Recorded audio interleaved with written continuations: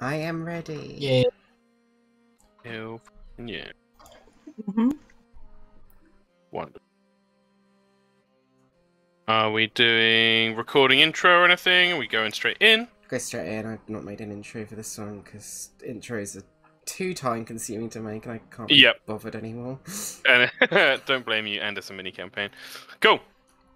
So we had our session zero, where we uh, rushed through some some stuff. You got an impression of Lord Ernst Quivershank, his retinue, um, a little bit of an idea of what you'd be doing.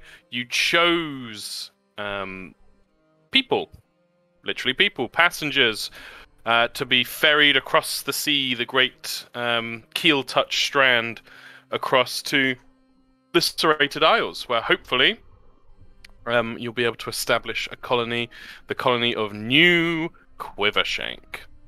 Um,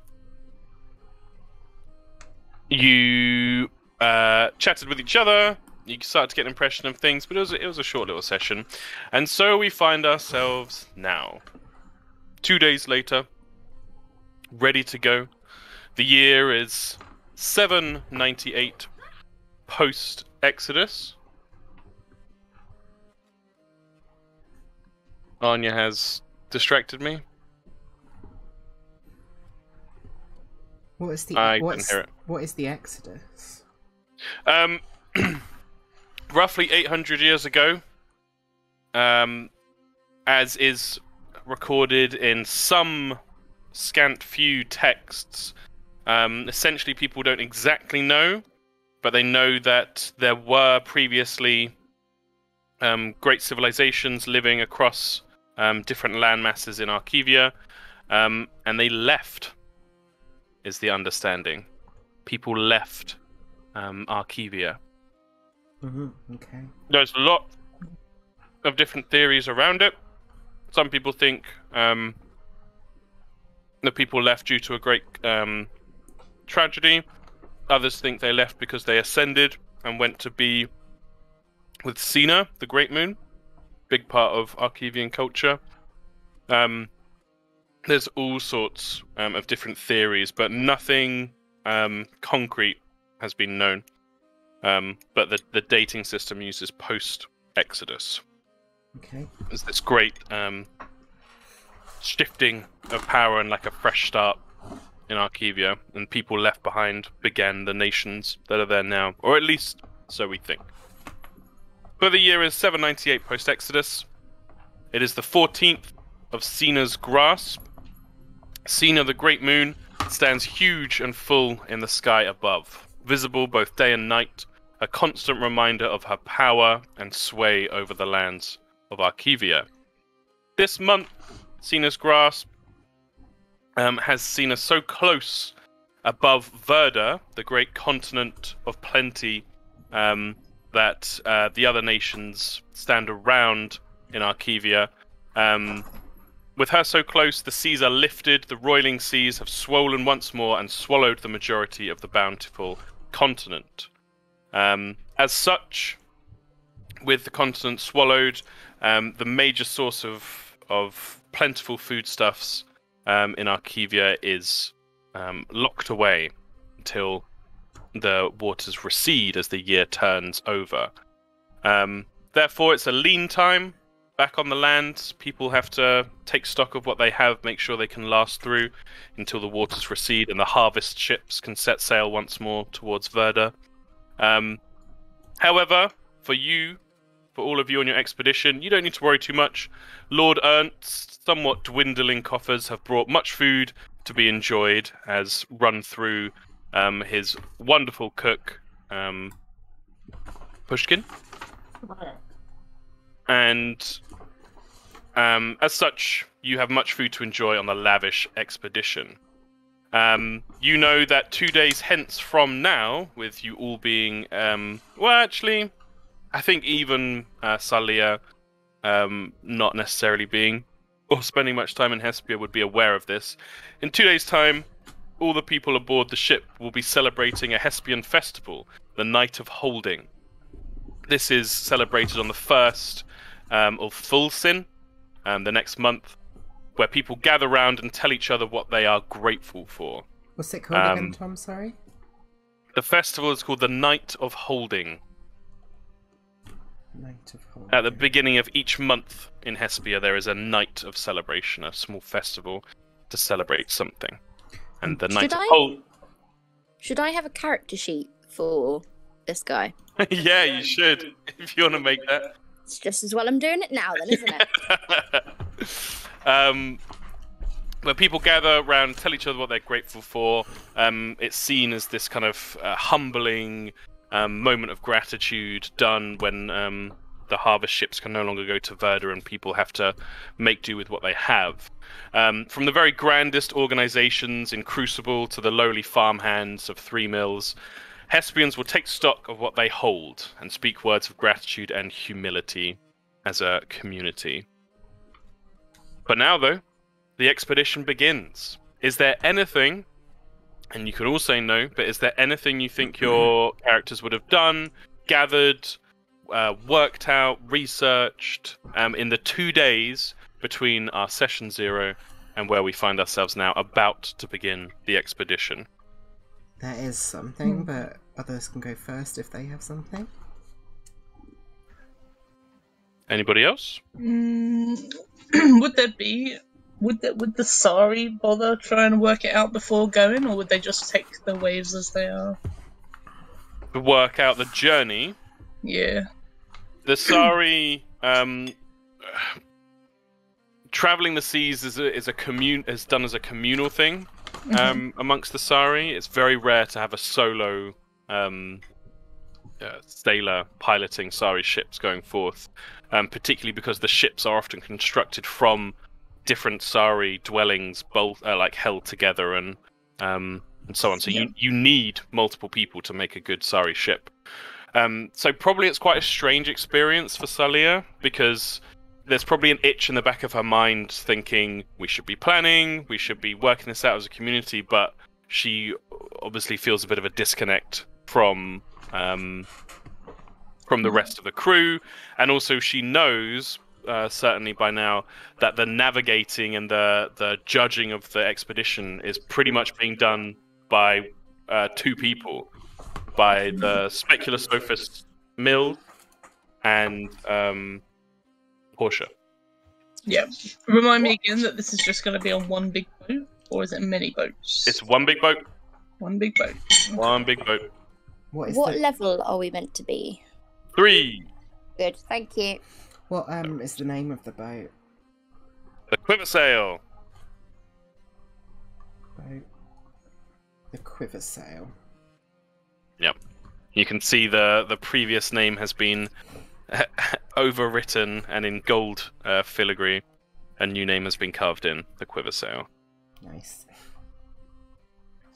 Uh, I think Salia would just try and make her way around the boat, have a look, make sure where she knows where everything is. Absolutely. Roll an investigation check for me. Okay. We're on the boat, but we're not at sea, yeah? Um, you can be on three. You can be on the boat already, or you can be like about. You can be one of the last to get on the boat. People are filing onto the boat uh, Oh, I currently. thought we were going to the market. You can go to the market, yeah. or your character can have gone to the market. There's just a Um, few things I wrote down Fishkin would want. Amazing. Um, Salia, the investigation. Um, there's some things you can't possibly miss. Uh, one, this is incredibly unwieldy, lumbering. It's like uh, uh, horrendously overweight hippopotamus, just like compared to Sari ships. Um, and Sari ships can be made to carry many, many people, but are still kept dexterous in the water. Um, they're built for um, dexterity, for speed, uh, for maneuverability. Um, and it's all about respecting the sea and knowing that you need to be able to adapt because it is the sea's um, will that you need to adapt to. Driving the Titanic, yeah. Yeah, this is a big, and you notice it's huge. It's lumbering. It looks like it's got a turning circle of a fucking hour. Um, He's a it's it's a warship. It's clearly a warship. Um, there are cannons aboard. Um, you count, you start counting and lose track. There's more than like 50 cannons aboard. Um, you can see the ship is very clearly divided as you're watching people come onto it. Um, there's areas towards the back of the ship which are made for the Lord and his retinue, and presumably you guys as well. Uh, below deck, the first deck is reserved for the crew. There's a de- dedicated crew of sailors and also a contingent of marines, soldiers, you note weapons and such, that seem to have their living quarters on the first uh, deck below uh, the top. The deck below that seems to be for the citizens, the people who are coming along, um, all of which have been divided up amongst you and your peers. And then below that is the cargo hold, where many animals are being kept, but also it's stacked high um, with a lot of equipment. Just the whole time, the overwhelming thing in your mind is this thing is huge. It's going to sit low in the water with how much cargo is there. Um, it is not adaptable. It very clearly, and for Sal for Salia, I think this would be like a, a disgusting sign of arrogance. It very clearly is isn't um, adaptable and listening to the sea. It's just Mhm. fucking storming forward and telling the sea to get out of its way. No. Incredibly offensive in um, uh, Sari culture. Um, so yeah, it would be like Dislike it. yeah, it would be like someone who loves cars um, going and just like seeing this like horrific truck. Yeah, m- like monster truck. Just this cr- horrible parody of what a ship should be. Um, so yeah, Nice. uh, Pushkin, your trip to the market. Yeah, so I made a list of things he would want the boat to have, or uh, okay, okay, sacks of seed, brackets, Hespian, grow all year round. Amazing. Pots and pans, cauldron slash cooking equipment, Yep. farming tools, Yep. exotic spices, opposite to where they're going. So, from a continent the furthest away from Hespia. the furthest away from Hespia would be Sedistre. So, is that to the That's the far West. west. Yeah. yeah? Um, Hespian spices, which might Yeah. just be salt and pepper, like in Britain. um, he wants a large collection of Hespian cookbooks on board. yep. Amazing. and some blank books slash writing equipment so he can come up with his own new recipes. hundred percent, all absolutely on board and loaded up. And uh, Pushkin would know that there is a dedicated section. Um, I believe it's on the first, um, first or second uh, deck down, um, which is the kitchen. It's Nice. large, considered Pushkin's kingdom. Um, He would- aboard the ship. I think the only thing he'd be he'd be most worried about things that grow all year round. Yeah. Because he might act like an idiot, but he knows you want to be planting stuff that grows straight away. Yeah, absolutely. He would know from uh, great experience um, that um, the farming settlement of Three Mills, which is connected closely with Crucible, um, they have um, crops that they grow underground, um, to, so that they can keep growing it all year round and not worry about the ash fall um, coming down. So they have different things. They have some um, uh, fungi that cultivate really well, but they also have grains that they've uh, come up with ingenious ways of bringing light down. Um, but they're very hardy um, crops that absolutely grow all year round. Yeah, and seeing as it's quite close to Crucible, I imagine those recipes, if he doesn't already know them, would be in the large Oh, yeah. collection of cookbooks he took. Easily, hundred percent. Yeah. Yeah, he's just trying to shore himself up, being like, yes, I took all this stuff, yes. Yep. The Lord would be very pleased with you and would be bankrolling it for you. yeah, that's why he wants the spices as well. Amazing. Awesome. Anything else from anyone else? Yes, Portia would like to talk to the Lord Quivershank and try and get him to fund um, her to acquire um, like extra navigational tools and things that would be useful in emergencies and stuff? Hundred percent. He would be incredibly enthused. Um, he would send you to Permian, the Lord's Purse, who is a lot less enthused and quite tight-fisted. Go ahead and roll a persuasion check for me, or if you'd prefer a different social skill, feel free to use those. She wants to use deception if that's okay, because Of she course. has some intention of buying some things, but she's also got some things she wants to use the money for herself. Oh, very good. Yeah, go ahead. That's an 18 deception. Very nice. I will roll a cursory roll. Yeah. His stuff isn't good anyway. Yeah, you you weave him a tale. He gets completely wrapped up in just how important navigation equipment is. Without it, the boat is likely to sink, to run aground, to never arrive at your destination and be lost forever upon the seas. You read this man like a book. He's a very easy scare, and before long, he is sending you away with bags of gold to be used. How much in total? That was a good roll.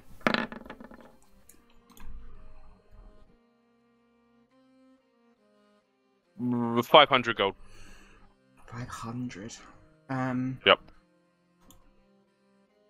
In that case, then, if you'll allow me, Mhm. just looking at some different poisons in the Dungeon Master's Guide. Oh, yeah. I think I'm gonna go. If you allow me to buy, she will spend 350 gold on the actual thing she was going to. Mm-hmm. Wait, maybe I should do slightly higher one actually. Yeah. Um. Let me just quickly read this. Da-da-da-da. Alright. Um, she spent sorry, saying three hundred gold on that, and uh, uh, obviously this poison might not exist in your world, but I'll put it in the chat for you Mm-hmm. um, to see if an equivalent poison would be possible. Um, it's a drow poison, costs 200 gold pieces, typically only made by the drow or in a place far from removed from sunlight. Creatures subject to this poison must succeed on a DC 13 con save, be poisoned for one hour. If the saving throw fails by five or more, the creature is also unconscious while poisoned in this way. Cool. Yeah, not a problem. It's like a tranquilizing Mhm. um, and weakening poison. Definitely would have an equivalent in Arkevia. Yeah, she would buy that for herself then and spend the other 300 gold on the actual equipment that they require. Very cool. And I will say, by getting that funding out of old Permian, I'm going to decrease the DC of some stuff you're going to have to do later on. Very nice. Decreased. Anything from the Burgomaster? Or does he spend his two days just walking around with Brutus? Trying to avoid prying eyes? Well, not even that. He'd just be like promenading on the deck, just like, oh, yes, pleasure. Amazing. Very good. Any dog under his arm. Oh, yes, pleasure to meet you. I'm Burgomaster Salizoto. Oh. he introduced himself to everyone coming aboard. Yeah, and they're all like, I know. Incredible. What I've just realised uh, only Tom can see is that I was miming him walking down the deck with It's the a dog good, his arm. it's a good mime. There's a lot of swag there. He has a lot of swag, Tom, and I make no apologies for it. Promenading. Cool. I've made a note of his promenading. Another thing I wanted to add, Tom. Yep. When Go right she ahead. was buying the poison, Mm-hmm. she would have used her masquerade tattoo um, to cast disguise spe- self on herself, so she does not look like Nice. herself. Um, yeah. Amazing. Yeah, and Discovery is a big city. You wouldn't have found it difficult to find a secluded back alley to buy this. Awesome. Burger Master Don't that gather okay, the Burgomaster is speaking as if the scandal didn't happen, makes a point of doing so. Okay, got it. Very cool. So, on this bright morning, Sorry. before no, we even. Oh, yeah, go ahead. he's he's effectively being like Princess Diana or Kate Middleton, going and like shaking people's hands, being like, "Pleasure, pleasure, welcome aboard." Yes, yes. Oh, thank you. Oh. Brutus, say hello. Making it all about him. yeah. because he's Amazing. the Burgomaster, and also he's played by me. Very cool. That will actually have an effect on some stuff I've got lined up. Um. So, before you even we even get to any kind of navigation, I need someone to roll a d20 for me, please. Anybody? A singular d20. I'm making notes, so someone else do it. Three. Thank you. Cool. Noted. Okay. So, this bright morning on the 14th of Cena's Grasp, you are invited by um, Lord Ernst Quivershank to his quarters. Um, does everybody attend? yeah, hundred percent. Of course. Yeah. Absolutely. Alright, let's introduce you to the map. There he is. If you could direct your attention, there are multiple instances of you at the moment. Um, but if you can direct your attention, you don't need to move any tokens or drag anything out. Down to the left, bottom left area.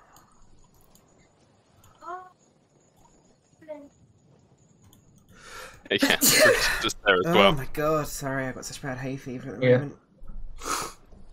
That's all right. You will file in to quarters slightly cramped um, for the for the number of you that are here. Um, Did you make this? Lord Ernst, I would love to say yes, but I absolutely did not. Yeah, No. that's fucking great. It's ridiculous. It's fucking huge. Um, you guys will get to explore more of it. Um, but here in the aft castle cabin, thank you, map. Actually, no, that's not the aft castle cabin. It's the quarterdeck cabin. Um, you see on the table in front of you a big map. Okay, the map contains Hespia. Um, over on the right, a large um, area of open ocean, and then a collection of uh, islands on the other side, clearly labelled the Serrated Isles. Lord Ernst, as you all kind of file in and have to kind of squeeze in shoulder to shoulder, as this is quite a um, um, uh, small area, Lord Ernst is clearly full of excitement and enthusiasm and is practically vibrating in the seat he's currently sat. To his immediate left and right is Elsie Winchern, his bodyguard, and the Lord's Purse, Permian Balalor.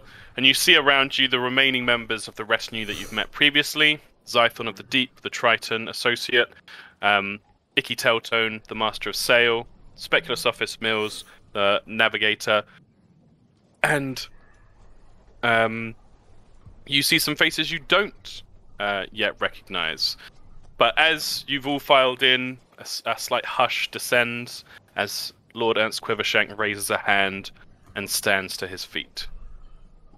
My friends, my dear, dear friends, we are about to set sail on an expedition that will change history. And Oh, he looks Pushkin would start clapping. He holds up a hand with a big smile and says, Thank you, thank you. Yes, I too think this is worthy of a round of applause. Everybody give yourselves a round of applause. Wonderful, wonderful. And he claps around to everyone. You'd see that only, uh, it's up to you whether your characters clap. Icky Teltone does not clap, and Elsie Winchern claps very slowly.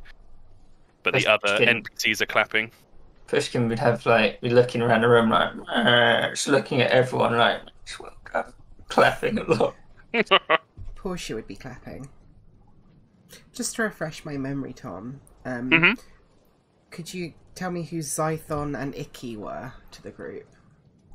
Icky is a Hadozee. In your brief meetings with him, he seemed quite surly and unimpressed with the Lord uh, Ernst Quivershank. Mm-hmm. Um, he's his role on the ship is the Master of Sail. He's in Master of charge of Sail. sailing. Oh, poor Hannah. Hopefully that fixes itself. Um, and then Zython, you didn't really speak with much at all. Quite an enigmatic figure. But um, Lord Ernst introduced him as a Triton and seemed very pleased that there was a Triton on the expedition. Mm. Um, Portia would well know that Tritons are the dominant race beneath the waves. They have a society that lives in the oceans of Arkevia. Um, they have had a big cultural shift in the past 20, 30 years, um, where they've been joined by um, uh, a race of much uh, fewer numbers, um, the Gith, um, who have taken up a. I think other races probably see it as quite sinister role amongst the Triton. They've taken up role as leaders, um, almost like faith leaders. Um, not too much is known. Their the contact, historically contact with the Triton, is limited, but amenable, amiable. Um, and some trade is done between land dwellers and sea dwellers. Um, but since the Gith have taken over, the Triton have become a lot more isolationist and protective of the waters. Um, but the Lord Ernst seems to think that having a, a Triton on board and with the expedition is a big blessing for the expedition. Okay, but do we know what his role is in the ship? He does not have one. Okay, fine. He's simply here to. It's the Lord Ernst treats him like an ambassador or an emissary. Ambassador. It's all like, "Thank you so much for joining us. It is wonderful to have your people's blessing." Mm-hmm. Okay. And awesome. anyone overhearing conversations or observing, would see Zython is quite haughty in his demeanor, and just gives little nods and occasional broken common um, replies to people. Okay, thank you. No worries. So after the collapse diminish, he says, "Yes, well deserved. We're ready to go." Um, I don't believe everyone in the room is familiar. This is, um, the, ooh, ooh, ooh, ooh, the captain of Quivershank's first battalion. This is uh, not. Oh no, sorry, got that wrong. This is Toria Mooncloud, and he gestures to a tall, orcish woman. Um, she seems very cool and calm and collected. Gives each of you a, a brief nod as she looks around the room. Quite neutral expression. Torian, did you say? Toria Mooncloud. I'll make sure she's in everyone's journals. Um, she is in charge of uh, the Marines, and he gives a little like excited shimmy uh, under my charge.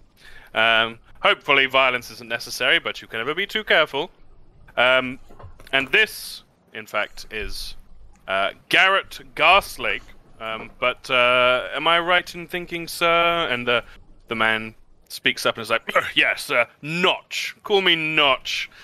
Um, uh, see me below decks if you want to know why." And he gives a very confident smile as he looks around the room and adjusts his um, quite officious and impressive-looking armor that he's wearing. Back to the Lord, who says, "Yes, uh, uh, Notch is our uh, chief gunner, our gunnery sergeant, if you will, aboard the ship. Should we need to use their cannons, which would be quite an excitement. Um, but again, of course, no violence. What was his last name? He's Garrett Garslake, but he seems to like going by Notch. Ghast Lake. Garslake. I'll put him in. Yeah, journal. if you could spell it out for me. Sorry, I'm making like In furious notes. No, I love it. There's a lot to, to write down. G A R S L A K E. Thank you very much. Um, but, and he takes on quite a solemn air, the dramatic pause to business. We have an expedition to run. We will be setting out shortly. Our master of sail assures me that uh, the weather looks fair, and we should make good headway towards the serrated isles and New Quivershank. And he get, he shoots like a big smile around the room as he says New Quivershank. Um, his hand up. Pushkin will put his hand up. Yeah.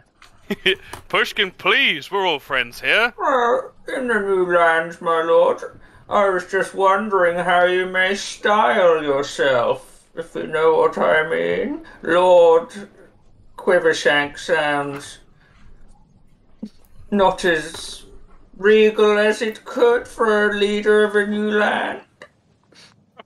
Pushkin, I Well, I could, I couldn't possibly. Uh, well, well, what do you think?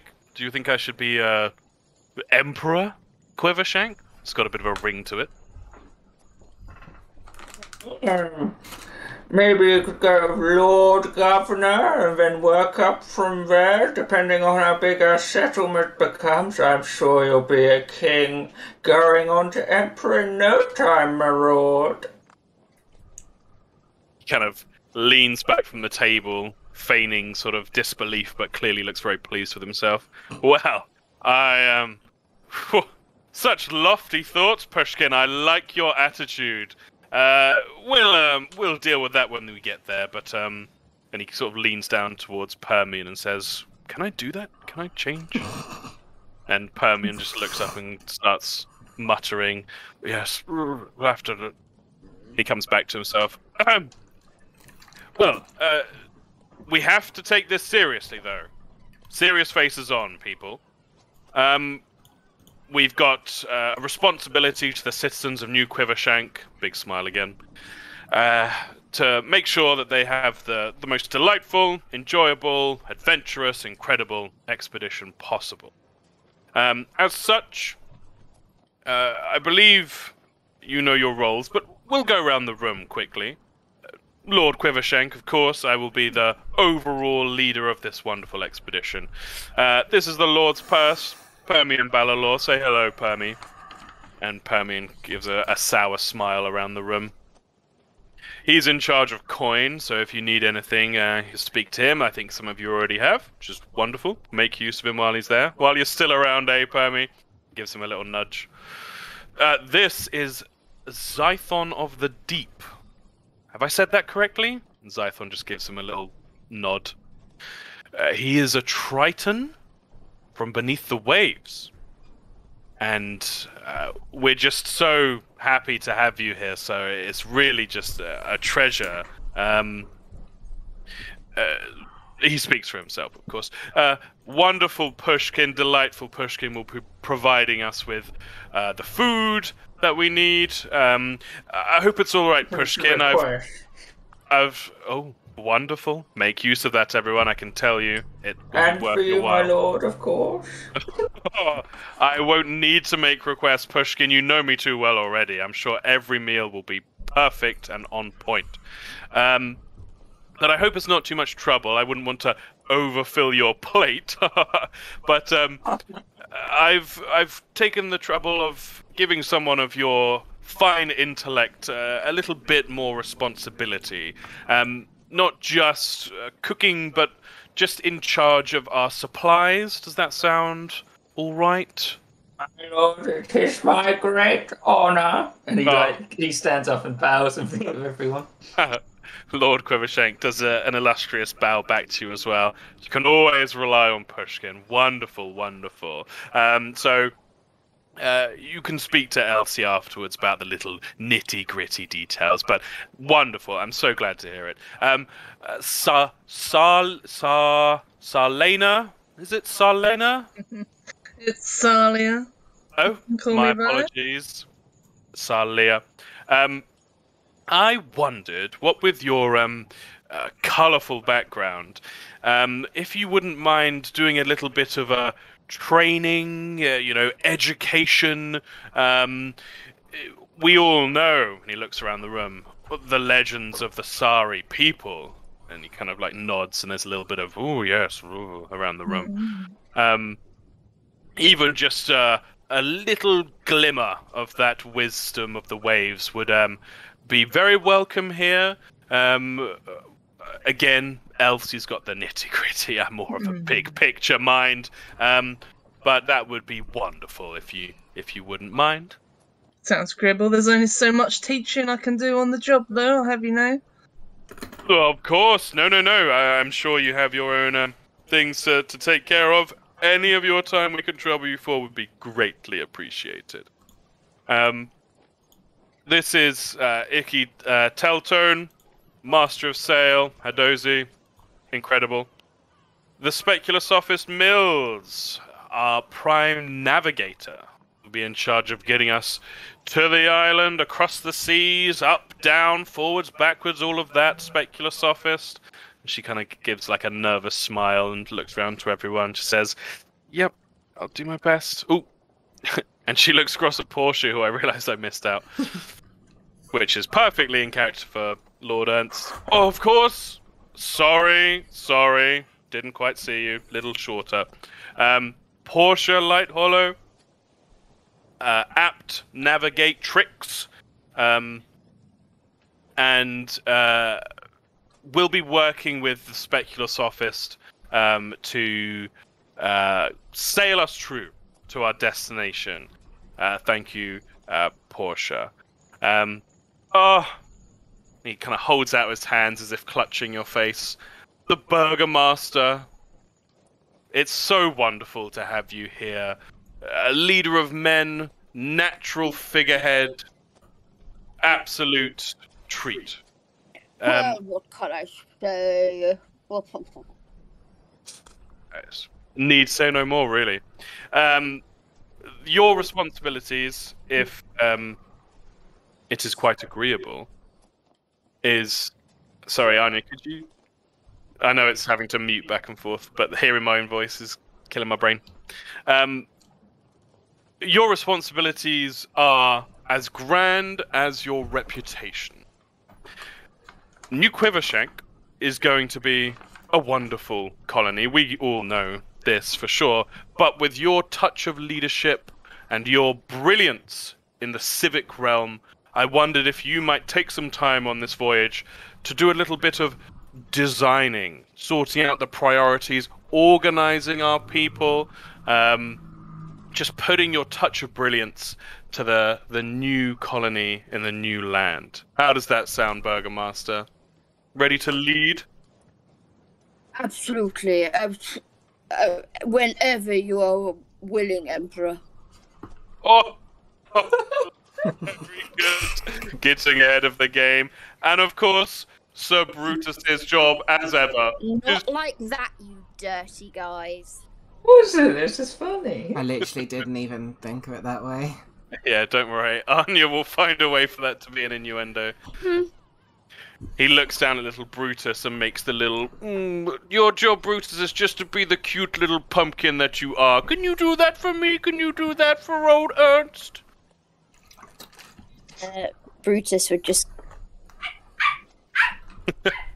Wow, Fishkin. that was really good.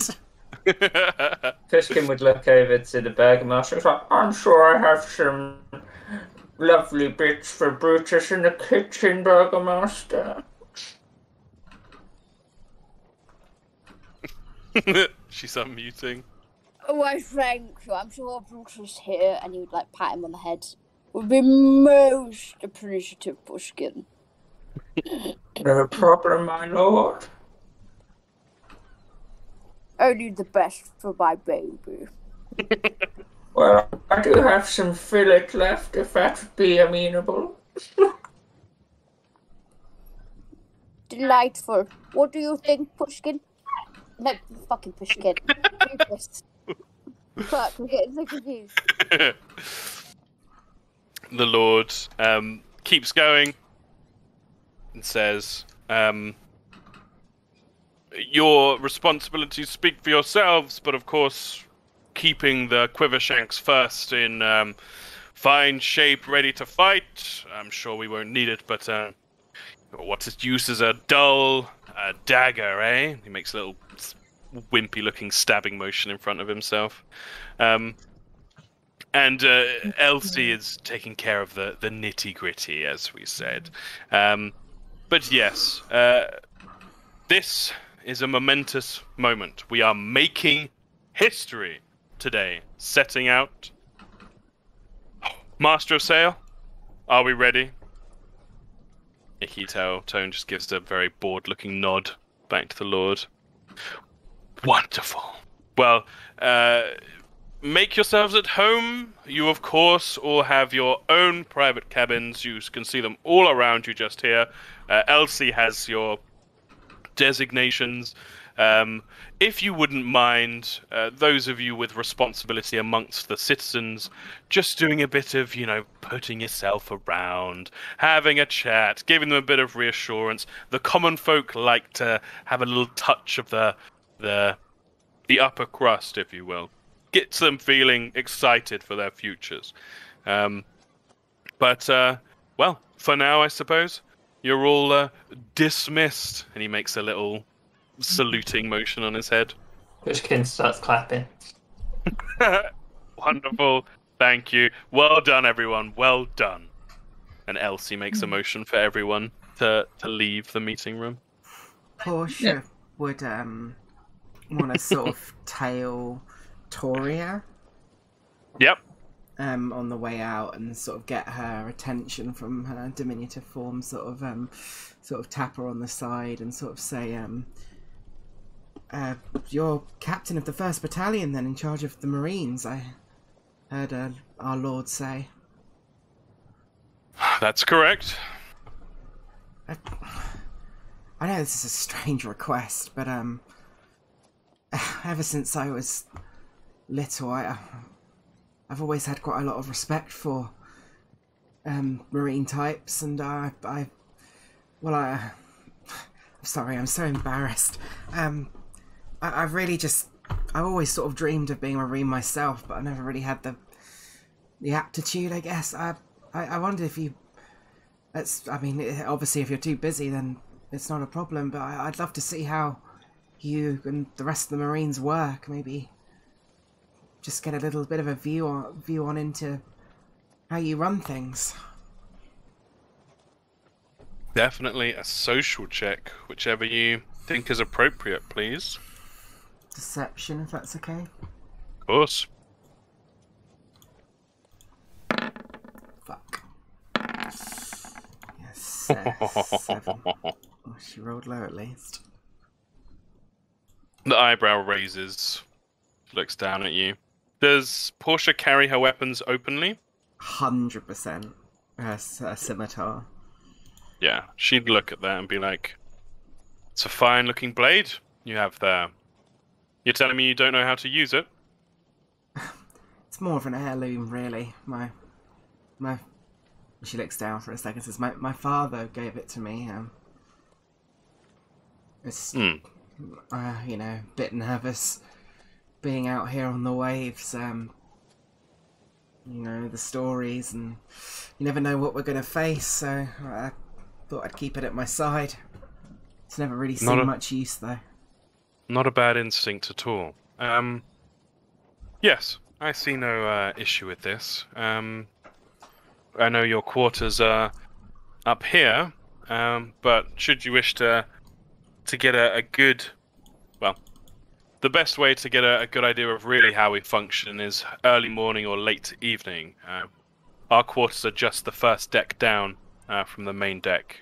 Uh, you're welcome to come and chat with the guys. I'd like that. Early evening or morning, you said. early morning, late evening, um, uh, throughout the day, my um, my Marines will be going about their own business as long as they keep their themselves sharp. I don't mind what they do, but early morning and late evening is when we do our drills and check in properly with each other. Brilliant. I'll, I'll, yeah, thank you for letting me do so. I'd, I'd love to come see them in action. Of course, she gives you a, a little smile and walks off. Yeah, she just dropped back, sort of thing. Mhm. So, One, one, How d- one more, one more thing. I'm sorry. no, please, From An- earlier, anything and everything. when she was doing her walk around, Yep. what are there? Lifeboats. There is not a single lifeboat aboard this vessel. yeah, I thought. The vessel itself, I mean, there's you could fill a long scroll with all the things wrong with how um, the Lord has handled this. You know that the Serrated Isles aren't that far away. There is no need for a huge ship. There is no need for a warship. Many uh, different ships would make more sense. There's no lifeboats. From your inspection, though it wasn't hugely thorough, there doesn't look like there's that much backup. Things like sail, rope for rigging, so on and so forth. The warship, as awful as it is, looks to be in fairly decent condition. Um, Okay. but it's yeah. You you with a, a good Sari vessel could get to the Serrated Isles and back uh, in the time you think it will take this vessel to make it halfway there. Jeebus. Yeah. Pretty bad then. Pretty bad. Pretty bad. No Mm. lifeboats. Nothing. Okay. Well, we're not going to sink, so it's fine. Well, Yeah. Exactly. that's what, what they said about Titanic. Unsinkable. cool.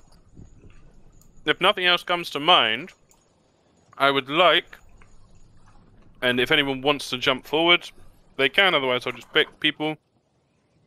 I would like you to describe to me if, because nothing is forced here, but if, and if so, how, your characters uh, introduce themselves or interact with their wards, their groups of um, citizens that they've been given to um, look out for.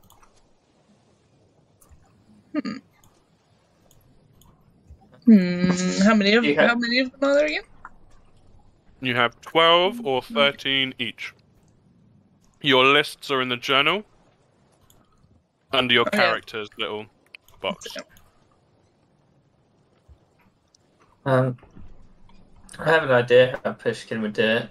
Mm He'd gather up the Telson family, hmm. Mm-hmm. who are like mostly cooks, herbalists, once a kid, and the farmers of Fallowfield, Chuck, and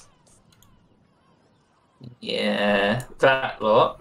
He said Yep. he'd have two groups, and then and then have Tick Tar, Tick Pan, and the Burnhammers in a separate group because he wants to show the first group the supplies and what they Mhm. have. Got it. Yeah, that'd be. So and the, he- the other two groups, he just introduced himself or.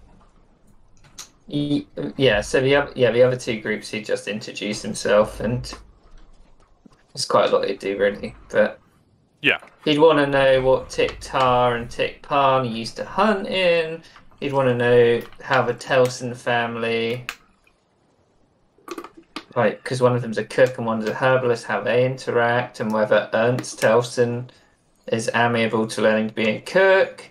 Um, he'd also want the farmers to interact with the Telsons quite a lot because he Mhm. feels like that would be good. Amazing. Yeah. Um, quick answers.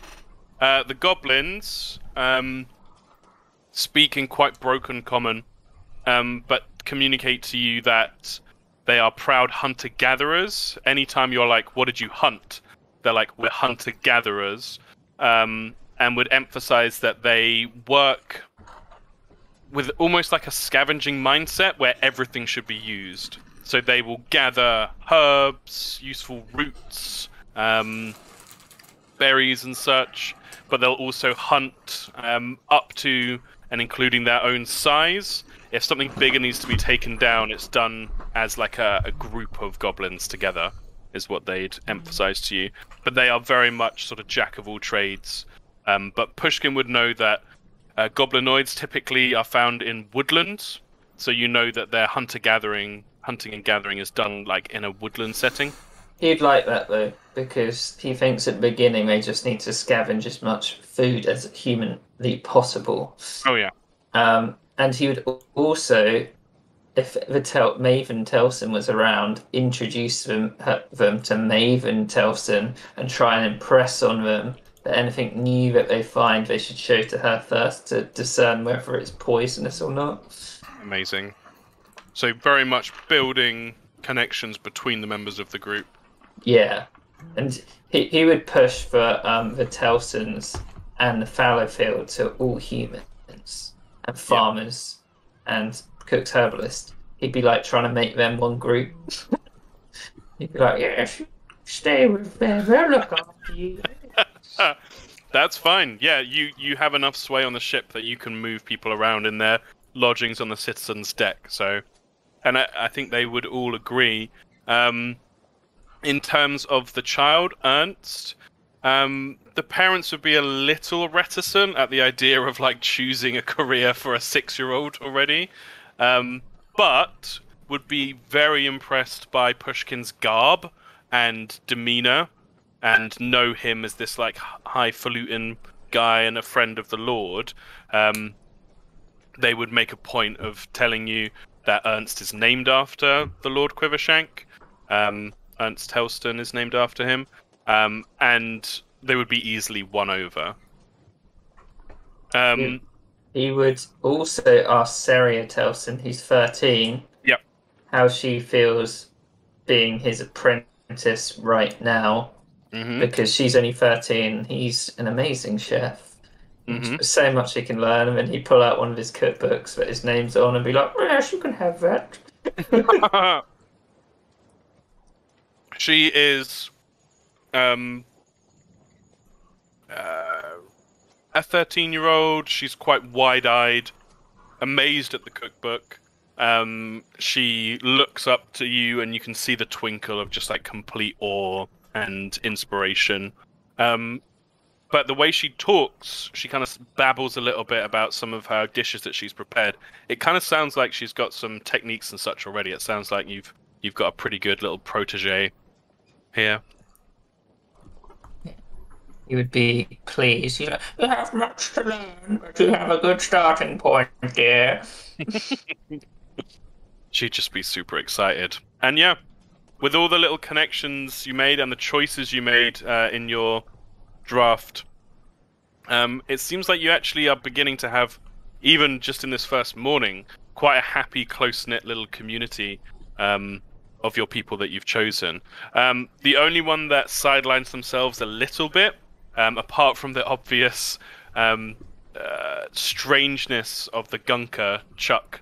Um, Though the Gunker seems to be very happy to be, just be part of the crowd, um, it just kind of sits and slightly sways from side to side with its malleable form. Um, so it, it's not it's visually distinct, but otherwise seems to want to be part of the group. Um, but the one who purposely sets themselves apart is the gnome, um, Deeran uh, Havan. He would want to talk to him though and be like, "What do you expect from this new continent? What kind of um, fauna do they have over there? Is it large? Is it small? Is it particularly dangerous? Is there stuff that we could eat straight away, like a bit like rabbit? You know, things that are easily small and catchable, that sort of stuff." he would tell you um, and be very excited that you're engaging um, with him. Once that you make a point of meeting him on like his terms and the the zoology terms, he completely just like erupts like a volcano.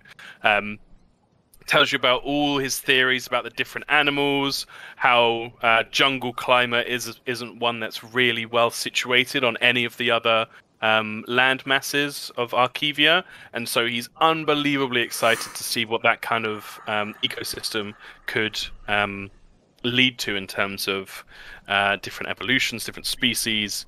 Um, he has some uh, evidence of uh, things that are theorized to be from the Serrated Isles, um, bodies of animals um, that have sort of floated out to sea, little bits of uh, flora uh, as well, but it's all very theoretical. But yeah, you you can definitely see someone who's just as passionate about their their um, uh, their creed as Pushkin is about cooking. Like the last final group he'd want to talk to, the Burnhammers, hmm and work out if they're able to build any, you know, cooking equipment that is beyond the pale, what they'll have to try and find in this new land so they can make a forge, all that kind of stuff. hmm Very practical, core Burnhammer. Um, you know, the kind of contract worker almost style of talking. Just like, yep, can get you a forge set up. I'm going to need this, this, this, and this. Can't do anything right now, but this is what I'll need. Once we're there, I can have a look at what's going on. Um, and he, he seems very proud of his uh, daughter Kelta, and talks about what they're going to do. And it's like, that's and what we're going to do then, Kelta. She's like, then we're going to make sure the bellows are there. He's like, that's right. So yeah, they seem um, geared up a little, a little bit more unsure, less sort of bubbling enthusiasm, but a practical, um, adept um, na- uh, air that I think Pushkin would probably appreciate.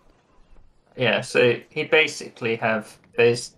He'd have a food group, and he'd be trying to push all those guys together in, to make like a little community.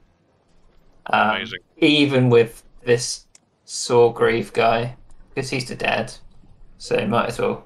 He'd mentioned to him maybe if you want to go talk to. Um, you work for me, but you can go talk to the Burgermeister because he knows way more about fashion than me. Like, I'm sure we'll be able to compliment anything that they do. And he- he'd want he'd want to talk to Chuck though. Okay. He'd be like, to So what do you farm, uh, Chuck? Chuck, who I just have to get his. Um, No, no, no. no, no, no, no, no. His his token out just 'cause I love this token so much. I'm gonna put it on the main ship. Um, I'm gonna show it to everyone because it's the best. Where is that? Oh my god, it's massive. Oh yeah. He, as um, you approach him, because before this there, there's no mouth, but as you approach him, this mouth begins to crease along the this shifting um, jelly-like form. Um, and as you talk, it's almost like watching bubbles come up in water. These like bubbles of air just go, and he talks in this kind of lurching, slow bit of common. He just says, rooms. He's not that big, right? No, he's not that big. I just wanted to show off his token because I love it. Say rooms or mushrooms. Mushrooms, and after he says it, the the mouth just turns into this huge smile all across there. This blob head. Fishkin be like, beautiful, beautiful. Well, you should be in charge of mushroom and maybe even truffle farm. The smile kind of goes even further, and the the mouth hinges up like a like a lid of a jar, and the what you think probably approximates a laugh from this gunker is just like. He'd be a bit like, Yes, truffle. Well, Chuck, um, if you have any questions, come to Old Pushkin. I'm in uh, supply deck. Uh, what do you plan on doing on the voyage? But big bubble comes up. Rooms. Where do you plan on growing them? I've got a burlap sack with some soil in if you need it. Um, no. And a little like a little like pseudopod grows out, and he points down. He said down. At the base of, in the cargo hold? Big smile and a slow nodding of this giant blob head. In the manure. The pseudopod like comes up, almost like for a little high five. Still nodding. This kid would do that. He's like, you have the right spirit there, Chuck, making use of everything. Ah, I agree, I agree. Maybe we can cross-pollinate some, yeah? Pushkin. Good. He, like, um, gives him a...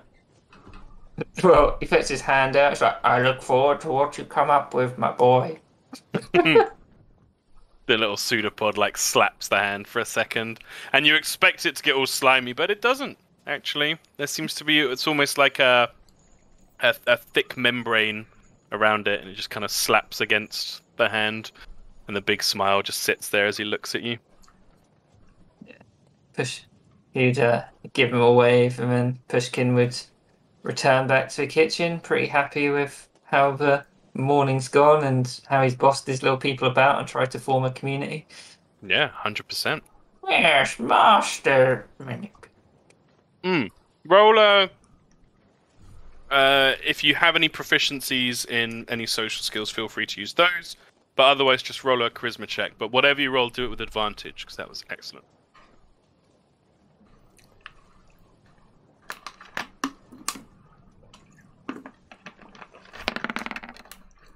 Fifty. Very nice. Yeah, seems to have started off very, very well. He'd twiddle his little cane and be like, and like tap it on the deck and return to the supply closet. Very good. Anybody else Yes. figured out how they Yeah. would meet their groups? Oh, any preferences? Who wants to go first? Danny. Yeah, first. Okay. Um. So Portia. Portia would introduce herself to the entire sort of group um, at once, Mhm. and she would she would very much make a point of saying she wants like there to be a chain of command, but she also says she wants like her leadership to be quite relaxed, and you know she wants to sort of to this to be an enjoyable journey and she wants to make yeah make a real point of just being like she's like you're a le- I'm a leader you can come to if you need me like I, you know I don't I don't want you to see me as like you know um some intimidating figure. I want you to be able to come to me if um that's needed. Um Mm-hmm. she would she would though um appoint Crowley and Burnhammer as her second in command. Um hmm uh, she says as part of the thing and she builds up like a quite a big deal in front of everyone maybe slightly embarrassingly so that he's a retired soldier.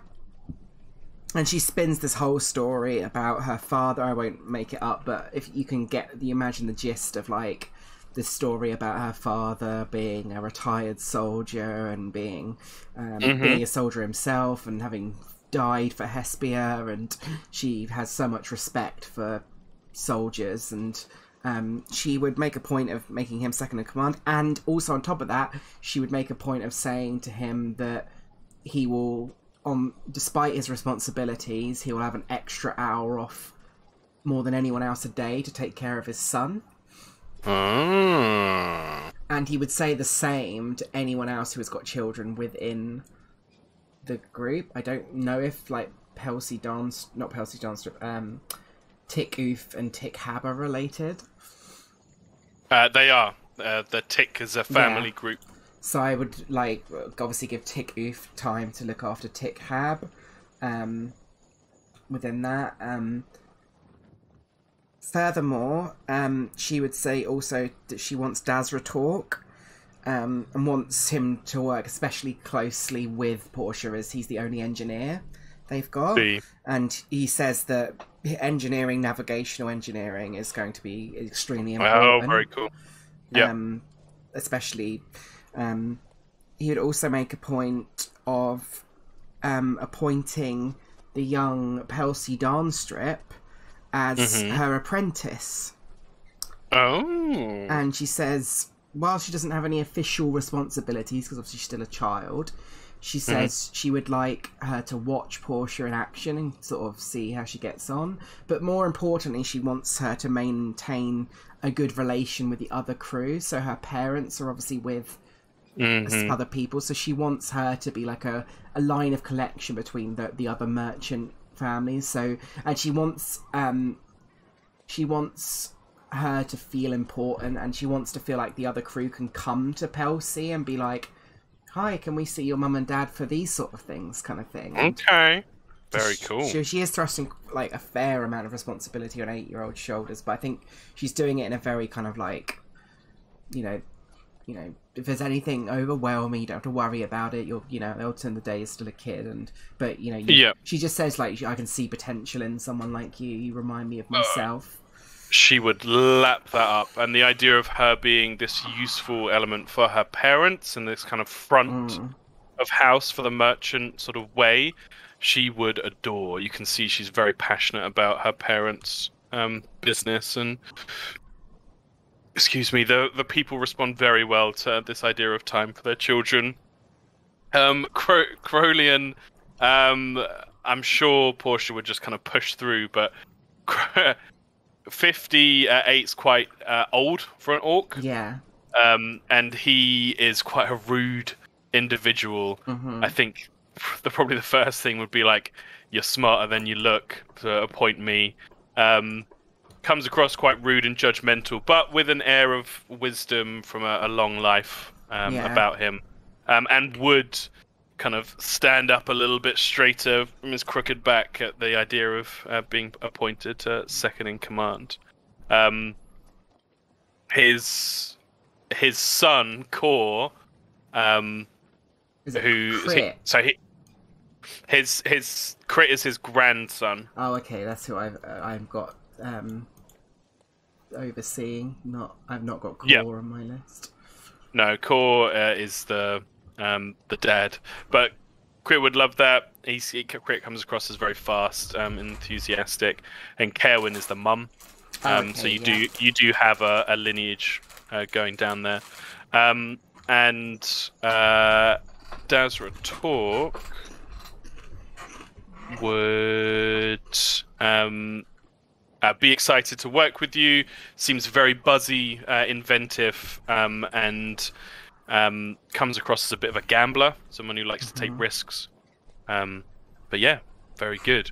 I think being very clear uh, with them. Well, roll a, a social roll of your choice for me, please. There was two other people as well. I wanted to um Oh, of course, yeah. um not as important, but she wants to also insist that everyone um should, if they've got important messages to get um to send up the chain of command, um, Mhm. that they should see everything goes through the Swift pads. Um, Very good. yeah, she says that she wants them to act as sort of like personal messages for her so that she can communicate with the rest of the crew really easily and also um, r- report to Specular Sophist Mills as well. Very good.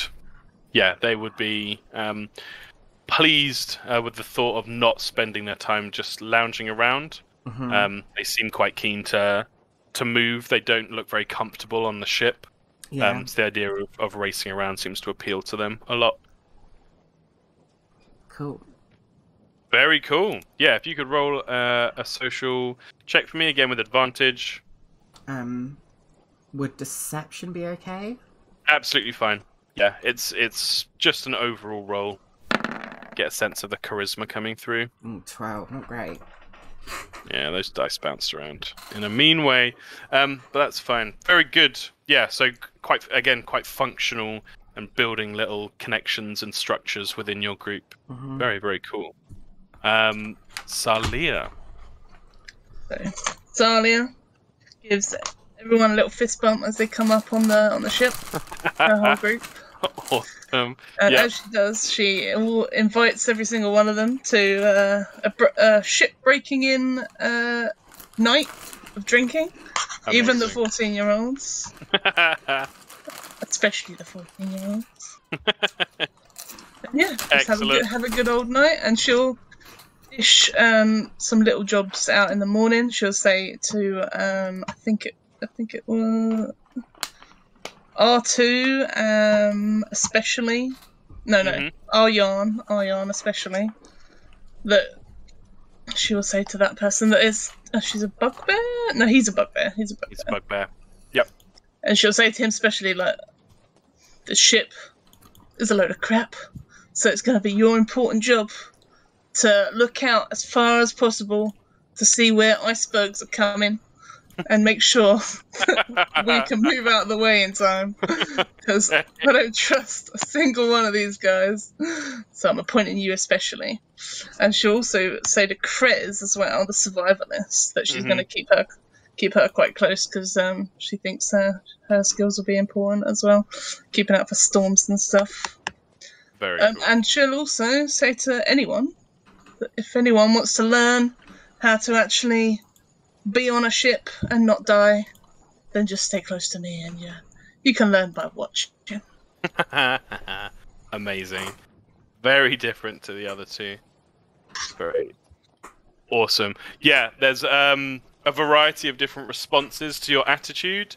Um, but it actually seems like, it's particularly with the goblinoids, of which you have quite a few, they they appreciate the kind of sense of being let uh, let uh, left to mostly do their own thing. Um, picking out Aryan um, turns out to be a really smart move. Um, Aryan and R2 are a couple, Mhm. and R2 is very wary of non-forest folk. Um, so you connecting with uh, Aryan, who's a lot more gr- uh, gregarious and interested uh, in others, um, seems to be a good way in for the both of them, Mhm. and um, very much responds um, in kind to your kind of um, chummy, casual thing. Likes the idea of the party. Likes your kind of attitude to this thing's a, this thing's a shit show. Let's make sure that we're all right. Um, really likes that attitude. Um, Krez is an interesting one. Very old. Um, the Mhm. scales of the the lizard folk cracked and worn and scarred, almost like a map of the world just across the skin of this old lizard folk woman. Um, but as you speak to her and expect practically like a croak coming out, her voice is still strong, and you can see beneath the lizard's uh, skin, and uh, she wears quite a um, minimalist set of hides and things, like a vest and shorts. Um, she's covered in all sorts of equipment, and you can see muscle there. She looks like she can handle herself. Um, speaks to you in a very um, pragmatic way, and um, would speak to you because it, it's quite clear um, from your demeanor. She would speak to you in Sari. Ooh, and sorry. Yeah. She herself um, explains that she is ex Sari. With her age, she didn't want to be a burden on the water, and that's quite a common thing amongst the Sari. Towards the end of their life, many of them either settle down um, on land somewhere, or some set off on a solo ship, which is one of the rare instances where you get solo um, sailors for the Sari. Um, she says that she settled down in Hesperia and would laugh and say, which she immediately regrets. Yeah. Um, but that is good to see um, one of the the the wave, the sea folk, um, in charge. Nice. Should definitely spend a lot of the night chatting to her. Probably. Yeah. But, but I know they don't talk about their history very much, so she probably wouldn't tr- press on that. But um, should probably just chat about how shit the ship is, pretty much. yeah, and Krez has much to share in that regard as well. But is very pragmatic in her uh, demeanor, and so she doesn't just go along with the insult. She's also like, "Yes, that is terrible. We could fix it with this, this, this," or Oh, "Yes, yeah. That part of the ship is likely to break. We must make sure in a crisis that we move to the back Mhm, side of it. Like mhm. all these like practical ways of thinking about things." Mm, that's one thing as well I should say to everyone. If you see me run into to a place on the boat, you follow me. they would definitely respond to that. Very good. Um, if you uh, want to pick out a social skill that you prefer, persuasion, deception, performance, anything with charisma, really, or if you just want to roll a straight charisma check, but whatever you do, do it with advantage. Yeah, I mean, it's just yeah, it's a zero on all. No worries. Straight roll with advantage. Okay, 13. Very cool. And the Burgomaster. How do you integrate your little group? He doesn't. He'd He just get everyone together and just be like, Now listen, guys, I trust you all to just really do the best you can. so, don't fuck it up, yes? And Oh, that would be all he would do. And Uh. we would be, yep. oh no. We've got Boris Johnson on the ship. Um, okay. your um, the, the people would be quite taken aback. There would be, and the burgomaster would 100% uh, notice this. There would be a few little sort of whispers between people. Um, is that the burgomaster? Is that the guy who got caught with? How Howard? like they're thinking about how great my hat is. Very good. Um, let's see. Any particular responses? You'd get rolling, rolled eyes and sighs from the two from the artist family, the Sanborns. Um, you would. A few of them would be listening properly. Um, Charter Sophist, Henwin. Um, I'm going to be honest. A lot of the reason why I'm not giving any advice is because I don't know what the fuck I'm talking about either. But he Well- definitely. Very good. No, I, I, it makes perfect sense for him. Um, would any of them actually speak up? Yeah. Um, you say this, and uh, a halfling man, um, thick um, uh, sideburns coming down towards the chin, big smile on his face, little set of spectacles perched on his nose, um, hands, uh, fists on hips looks up at you and just says, "What? Is that it?"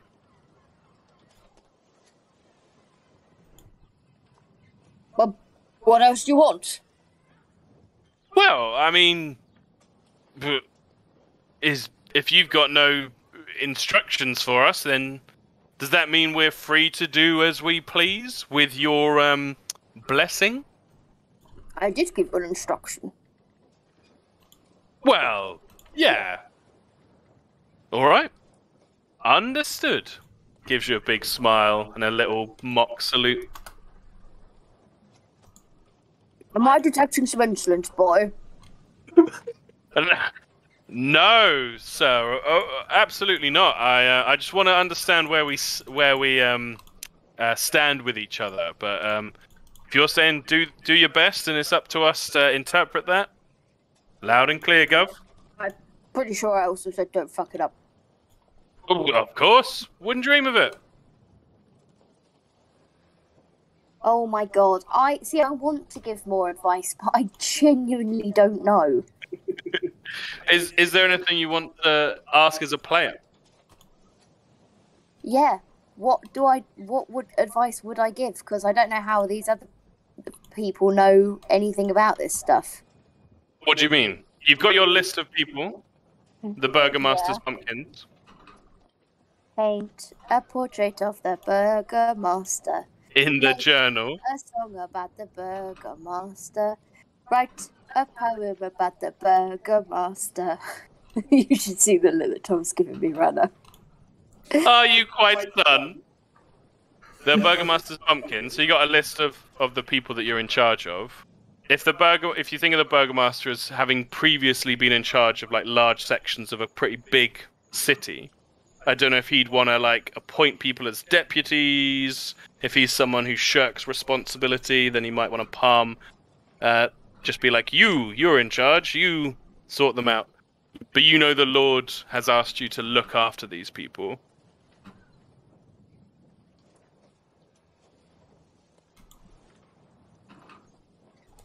He talked to the prospector Mm-hmm. and appoint him the like ringmaster. I'm gonna Ah. say prospector Aaron the Brave or Aaron. Yep. Um, he doesn't necessarily trust the tieflings, but he's picked them anyway because it's a tailor and he needs fancy clothes. He needs them to make him a fancy suit. There's also a shoemaker in there somewhere, I think, as well. No. Uh, Kieran's got the shoemaker. God damn it, Kieran. It did. Uh, Pushkin did say that to talk to the burgomaster because he's probably got more ideas about clothes than he did. Yeah. You make a fair point. Um, yeah, he'd just be like instructing them to glorify Lord Ernst as much as possible. Does he give them any details?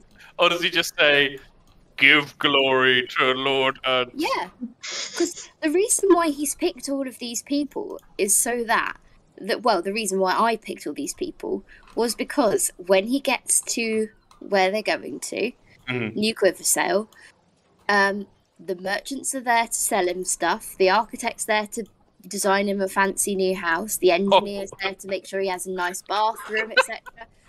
Poets and painters and sculptors to glorify him, and tailors and stuff to make him look fabulous. He's. Let me get this straight. He's picked I love it. people as if he's like displaced the his little realm, his little life back in Discovery, and just plonked it down uh, at, in New Quivershank. I don't know what's so hard to understand about that. It's just amazing. Everyone else is like, right, what skills do I need? And he's just like, oh yes, would love a tailor. Uh, I, make I sure. the people with the skills he thought that they would need. I didn't say that they were the right skills. Absolutely amazing. Okay, um, appointing uh, this prospector um, is a mixed, uh, has a mixed reception. Um, dwarves are culturally uh, very driven, very very driven. So the the uh, Aaron absolutely is just like, yep, I'm gonna make the fucking best of this. I won't let you down. Um, I'm not allowing you to say this because when I made a sweeping generalization about Italians the other day, you told me I was racist. Um, so you can't say all of this about dwarves. Well, I just did. Um, and the others respond in a, some of them a little bit fearful, some of them unsure. The artists aren't impressed, but it seems like the artists make a career of being unimpressed. Um, the prospector herself, just find her. That's even better because if they're unimpressed, they're not going to steal all of my gold Yeah, very true. and all of my fancy hats. Okay. Yeah, the the prospector um, makes a point of saying, "Yep, we're going to make sure we get there. We keep our heads above water," um, and has a bit of a sort of um, grimace on her face as she mentions the water. Um, and you stride off to wherever you're going to with the group in um, a, a fair bit of disarray. Um, could you roll a social skill of your choice for the Burgomaster? Um, persuasion, deception, whatever you like. Um, with disadvantage, please. Just imagine, like, why have we got all these doublets and hoser? Why have we work clothes? Why is this a, Why have we got bright pink? Um, what this thing's called ruffs? Everyone Um, needs a thousand You ruffs. wear, you wear the informal ruffs for your day job and then the formal ruffs for dinner. Amazing. What did we roll? Uh, ten. Got it. Yeah, eh, they're they're left in in something of um, a disarray. But I will say, uh, you do see the prospector um, going about um, trying to organize people. It is honestly a miracle that Discovery did not burn to the ground. Indeed. Um, okay, excellent. So, with everyone having met their uh, their groups, um, it's up to you um, what your characters are doing at this moment. But the ship begins to set sail. Um, the long um, uh, wharf of the South Harbour um, um, of Discovery begins to diminish behind you. The colourful buildings, the um, the variety of people, all starts to dwi- get smaller and smaller and begins to dwindle as Icky Teltone, the master of sail, calls out orders to the sailors aboard the ship um, who move around, and it seems, um, despite his faults, that Lord Ernst has hired uh, a capable group of sailors. As the large ship begins to lumber and slowly creak and turn um, from the south towards um, the west as you begin your journey.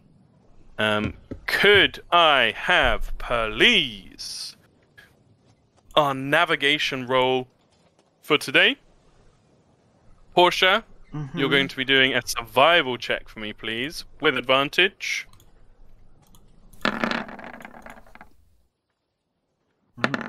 Uh, 14. At halfling power. 14, very good. Yep. With the the land diminishing behind you, it's very clear the way you're heading.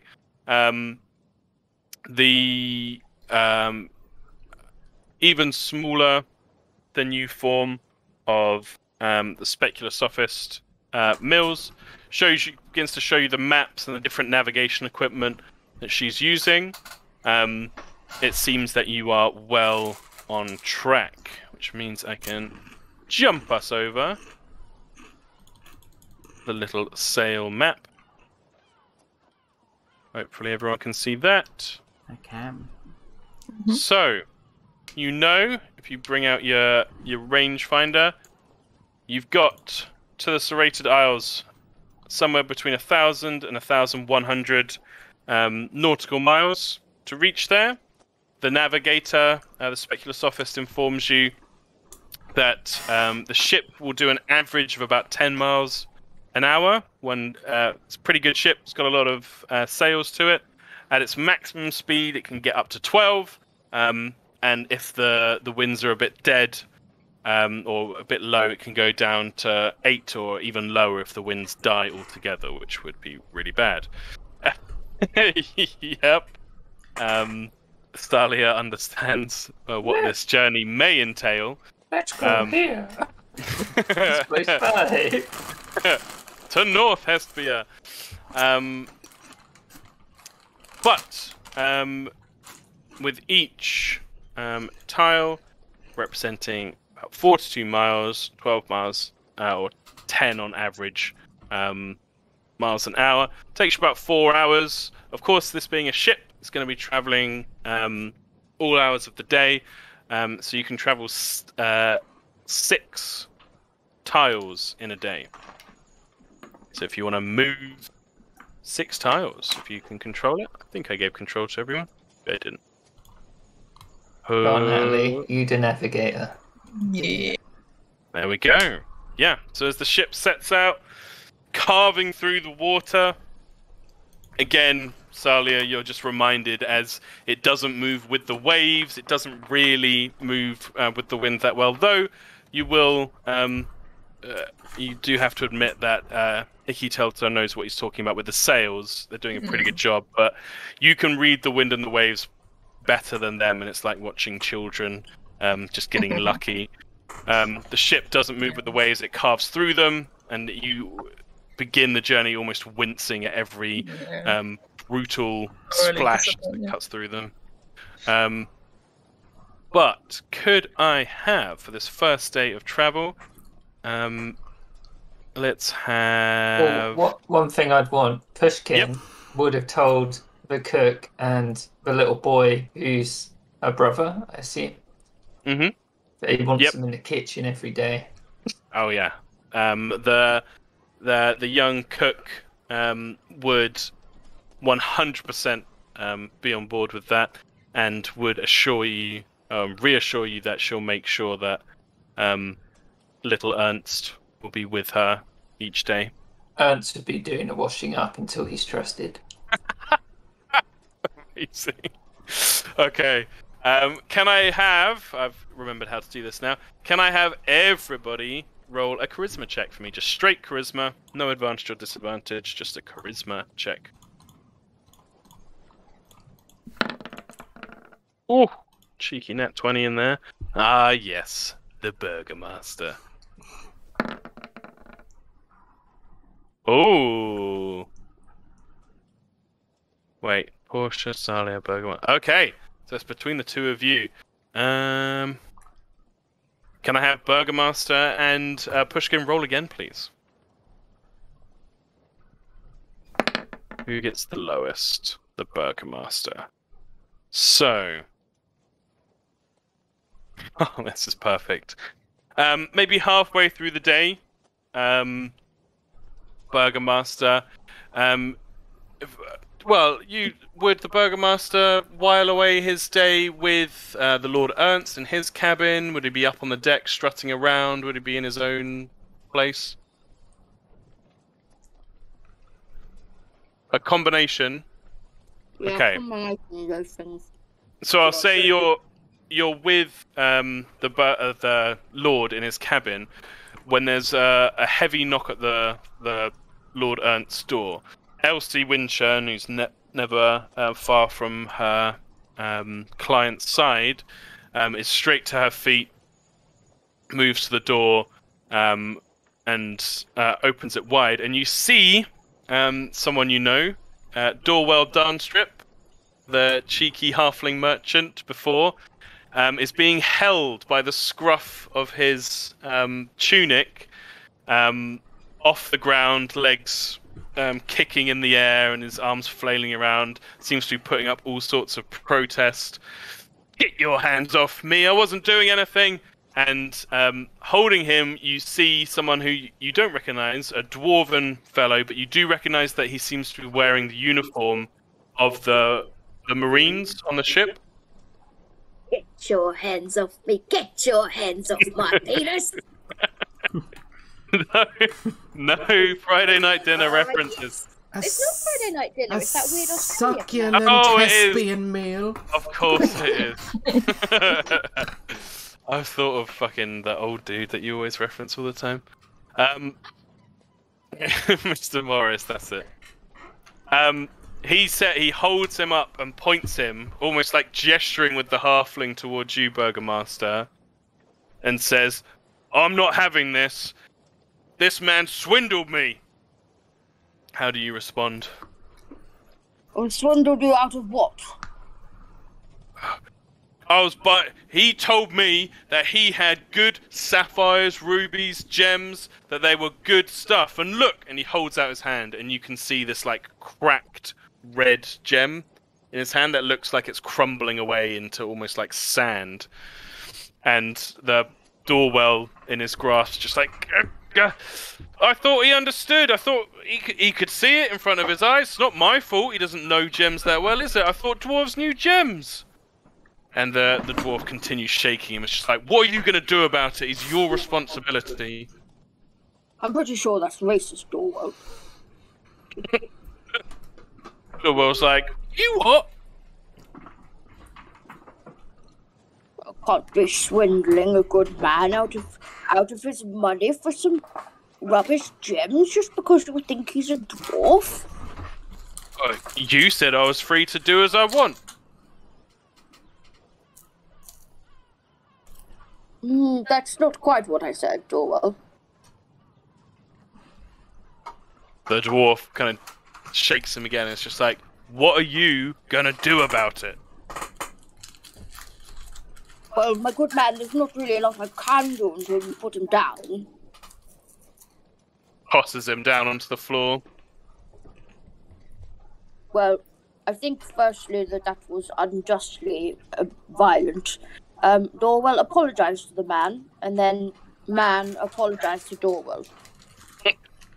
Make a persuasion check. He's so good.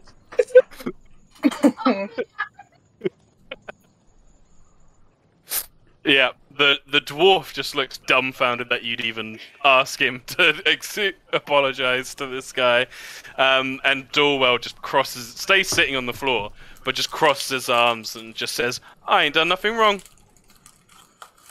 Oh, my good man, why did you look at it, buy it, and then decide it was rubbish? The dwarf kind of closes his jaw. You're telling me that this man, a merchant, under your responsibility, sold me duff gems, and it's my fault. I'm not saying it's your fault exactly. I'm just wondering, questioning exactly why you didn't notice the uh, inferior quality of the gems until after the sale had been completed. It does seem awfully suspect. Dwarf throws his hands up in the air and she's like, "I don't need this." Looks at the the Lord um, Ernst, who is just there watching, like he should have popcorn in his hands. He looks at him and points at him, at which you see Elsie kind of flinch slightly nearby. Um, just points at him and says, "This expedition is doomed from the start," and just stomps away down the corridor. I'm very much enjoying Tom's like acting behind the scenes here. He's actually pointing at me and being like weirdly aggressive. I'm not sure how I feel about it. Um, He's role playing. He, well, yeah. Um, well, Salis is like, well, how much did he take from your stuff? He calls that to the dwarf. Yeah. No, the the dwarf just stomps off. Well, I could hardly make reparations for the man if he just walks away mid conversation. Dorwell just turns around. It's on the ground. She's like, "Am I free to go then?" Little smile. No, Dorwell, you are not free to go. Why are you swindling this? Actually, actually, I am actually quite confused. Why this dwarf is like, he sold me some shit stuff. Well, yeah, you looked at it first and then bought it and then decided it was shit. I don't really see how that's Dorwell's problem. But maybe that's because I work with a load of entitled pushos. um, it seemed to be that Dorwell, at least from the the dwarf's demeanor, that Dorwell had made him think that they were better quality than they actually were. What was like magic. No, didn't seem to be any magic. At least the dwarf didn't claim so. The magic of persuasion. Well, then that's his fault, really, isn't it? I'll keep I'm this so in mind. confused. You never had a, a guy who's like, oh yeah, look at this watch, it's the best watch you'll ever have, blah blah blah. And then you get home and the watch is broken, you're like, oh fuck. Would you not realise it was broken there when it wasn't ticking? No, because it's all he's it's salesmanship. Yeah. Flim, flim flam man. Yeah. You've never been scammed. Well, no, I'm just confused as to why he'd be like, like Think of it like if you if you bought a car, right, and you get it home, and two days later, the uh, gearbox breaks. Yeah. no, I understand the concept, but that's different from like handing over like a, a broken candle and being like, look, here's an amazing candle, and then being like, okay, and then being like, hang on, this candle's broken. No, because the gems came apart after he'd gone away. That wasn't explained. This is the reason for my confusion. Oh, I thought it was anyway. There you go. It was obvious, Tom. maybe I'm just so you just say you're not free to go to Dorwell. Yes, you're Dorwell. You can't be going around trying to con the people of this good ship out of their money. How much money did you take from the man? Do an insight check.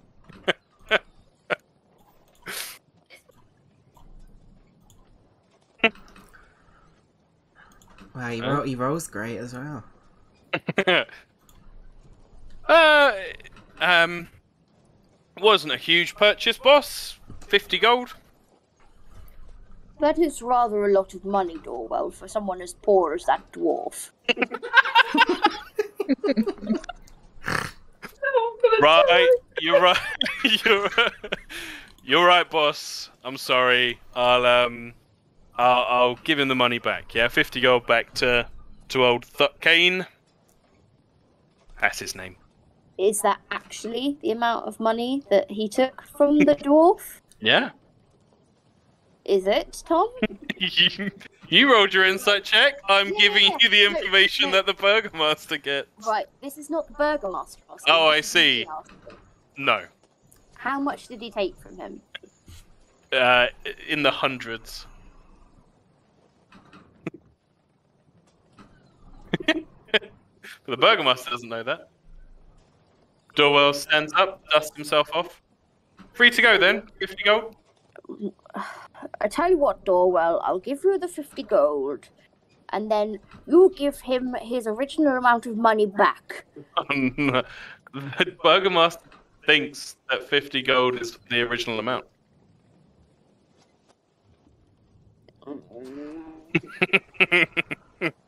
I'll give you 50 gold, and you can give it to him, then you keep the 50 gold, okay? Hmm. But make sure you make it up with him. of course. Thanks, boss. Holds out his hand. Holds out his hand. Did you give him 50 gold? Yes, I would. Fine. Takes it with a little skip in his step and it's like, see you later. And walks out the door. I just made 550 gold. He's having the time of his life. I have picked the worst fucking people. So The Lord, Lord Ernst is immediately just like, see what I mean, Elsie? Leader of men. And At Elsie you- just lets out a long sigh.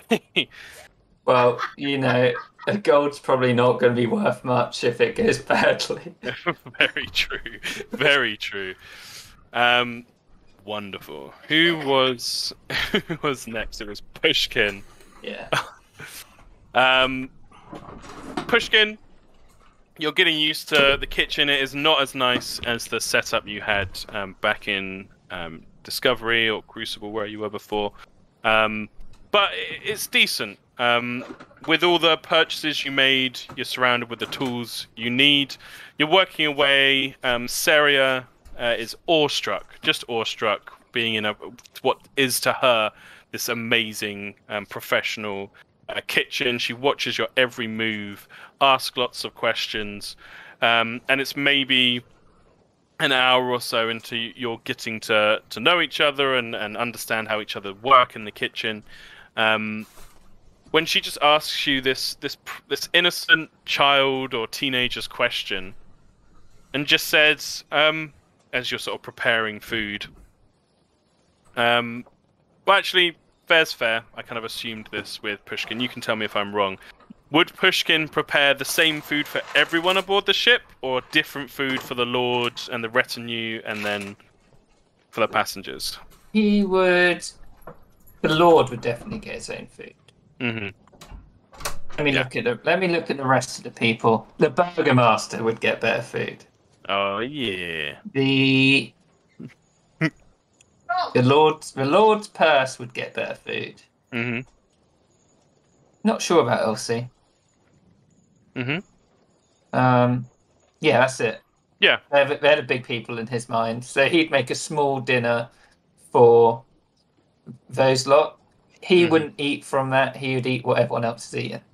Oh, okay, interesting.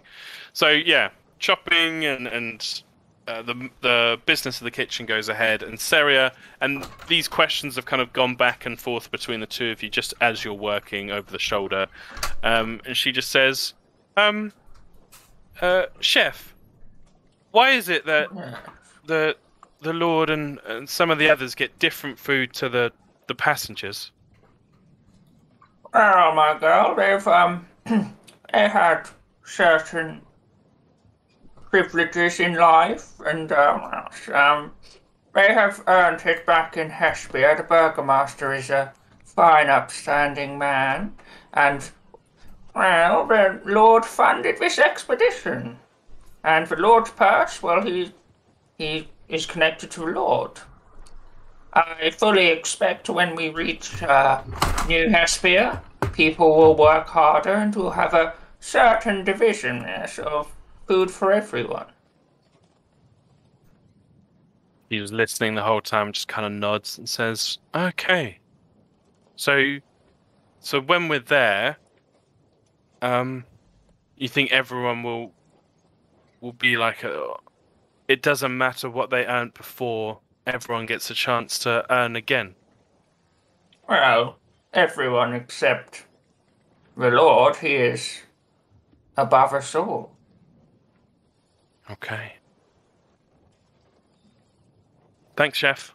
And she kind of ducks her head down and gets busy back again. He'd put his paw on her shoulder and be like, If we work hard, we can earn new titles, new privileges in this land that we did not have before, yes. Do you understand me, girl? I think so. Could I? Could I be a a duchess? It's difficult to say. Lord styles himself as a lord. No one else has a title, but. Well, maybe not a duchess, but you could live a good life if you ascend to my position. I live very, I live very lavishly back on Hesperia.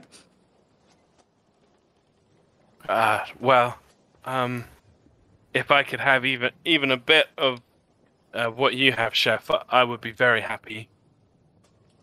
Um, things with gods.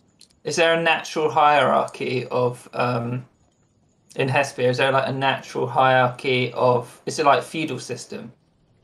It, it's not too far um, from the feudal system. However, um, it in South Hesperia, um, because of the ash that falls each year, people are drawn into larger um, uh, settlements, and so the the hierarchy is more enforced. Whereas in North Hesperia, people are a lot more spread out. Um, there are there is a ruler for each settlement. Um, they enforce their will through um, more civic means than militaristic. Um, so I would say it's more like yes, earnings go, money goes up in the system. Um, Yeah. yeah, I, I'd say it's a little bit more broken down feudal system, but cer- certainly South Hesperia is close to it. Yeah. It basically said we're we're leaving for a new land. Anyone who can prove themselves of ability and well important to the functioning of the group hmm. will probably be bestowed privileges. There aren't many of us. Maybe those who follow, we will be their sires. She kind of nods slowly, soaking it all up before getting back to work. Seems quite quiet. would be like, "Show how to make the Lord's meal. It might be a useful skill if you're trying to pursue this avenue." She would gasp and be very excited by that. You'd be like, "Plum sauce with pigeon," and start. This is how you make a plum sauce, and then start um going ahead. Amazing. Okay. Very, very good. Could I have, as this day is about, this first day of travel is about to close out, could I have, um, I'm just going to nominate someone. Can I have Salia uh, roll a d10 for me, please? A single d10.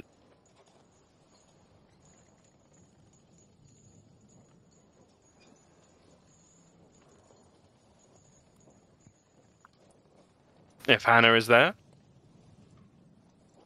Might be lagging and such. Uh, yep, there we go. Uh, Pushkin, could you roll a d10 for me, please? does make me think what his um, you know, views on hierarchy are. No.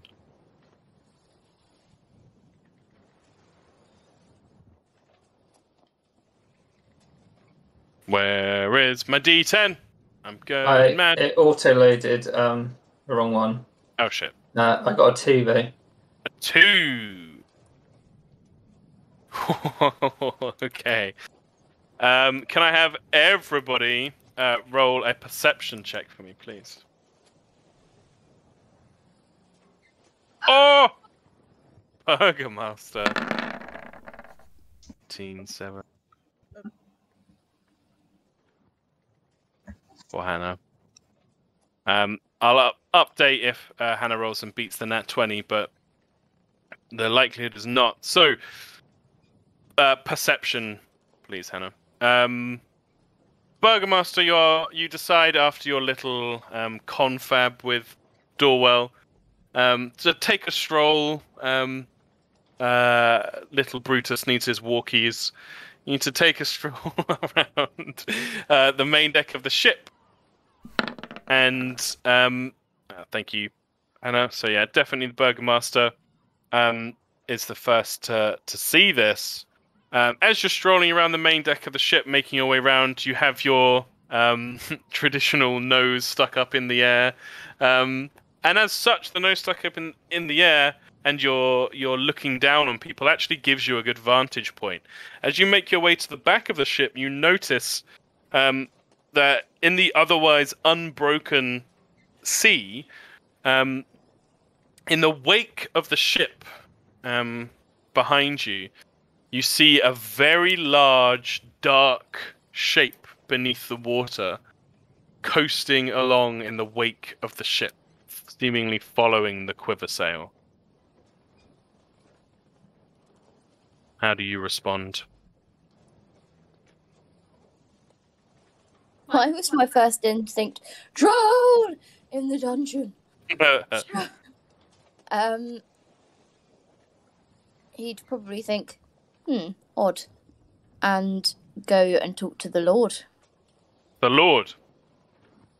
So you make your way um, uh, to the Lord's chambers.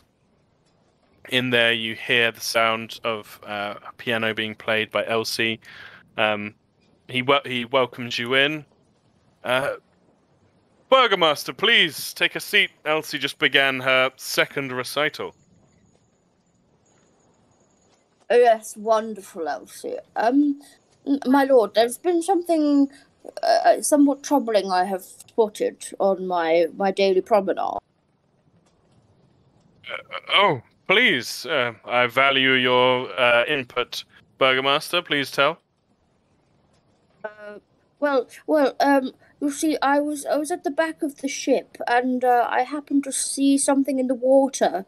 Um, I I think it might have been something uh, somewhat dangerous, or it may have a deleterious effect on the health of the ship. Oh. And the piano just stops. Doesn't jar or anything, just the the music just stops immediately and Elsie slowly turns round on the the stool and is paying attention. Such a drama queen. Lord Ernst just says, "Oh, um, well, that sounds uh, potentially quite um, quite a little pickle. Um, how uh, how do you think we should proceed, Burgomaster?" Would it perhaps be the most um, uh, prudent thing to do to uh, maybe establish what the creature might be first, my lord? yes, I I was thinking um, just the same thing, of course. Um, do um, how how might we um how might we do that? I genuinely have no idea. Um, divers or people stationed around the ship at all times, uh, keeping watch to make sure that uh, nothing a nothing happens, and b they can make note of what it is if or any characteristics if they see it. Is that what the Burgomaster says to the Lord? Okay. He'd be like, oh, "Yes, sounds sounds perfect, Burgomaster. I, I leave this in your capable hands. If if you need to requisition any of the uh, the um, well, I suppose we should we should let the sailors keep sailing. Um, but um, if you need to requisition any of the marines or um, uh, the gunnery crew or the citizens, you um you have my full authority. Thank you, my lord. Of course, of course. Does the Burgomaster get up to leave? Eventually. I fucking love the Burgomaster so much. He's great. okay. Um. Oh, okay. This is difficult for Elsie. She can't leave Ernst. Um. Yeah, she she would wait. So eventually, when the Burgomaster leaves, um, as you make your way out onto the main deck again, you'd see a small crowd has gathered at the back of the ship. It seems others have have spotted um, this dark shape in the time you spent listening to Elsie's recital in the, Lord's chambers. Um, some of them are starting to call out, just like, "Wh- "What do you think it is? Maybe we should tell someone." Um, does the burgomaster go over to them? Yes. I can only speak from my experience, by the way, and you're laughing at me for not leaving. But also, when someone starts to play the piano and you try and get up and leave, it's really fucking awkward. Um, Yeah. So I think he'd just be like, "Wow, marvelous, marvelous," and then by the time he would be like, "So," um, she's already started playing another song. Wait, so is he Yeah, yeah. staying? No, no, he would stay, and then, then the, eventually he'd like leave, and then Okay. he would go out, and then yes, he'd go over to them. Okay. What does he say to the group? What does he say? Anything? Fear not, citizens of the Quiver Sail. I have this all in hand. Uh, has anybody spotted anything identifying about it? You see, there's a couple of the the kids on board the ship in the crowd. Little Calstray Burnhammer looks up and just like, "It's big."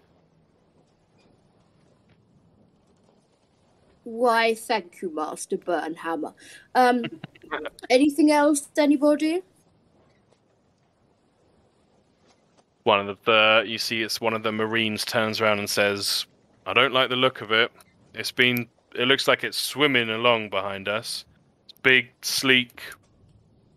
Not sure." I'm guessing as he's an imbecile, the Burgomaster wouldn't have any idea. You can it roll, you can roll a nature check. Okay, maybe I will roll a nature check then. Not It's just bad.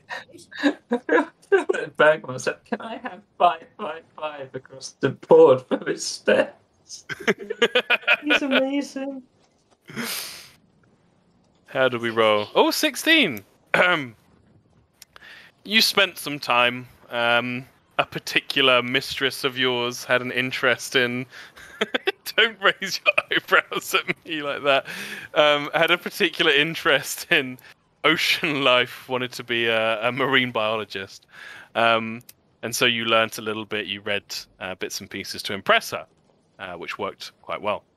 Um, in your reading, uh, you uh, read um, that there are a number of different, um, very large uh, creatures in the um, the seas around Hesperia.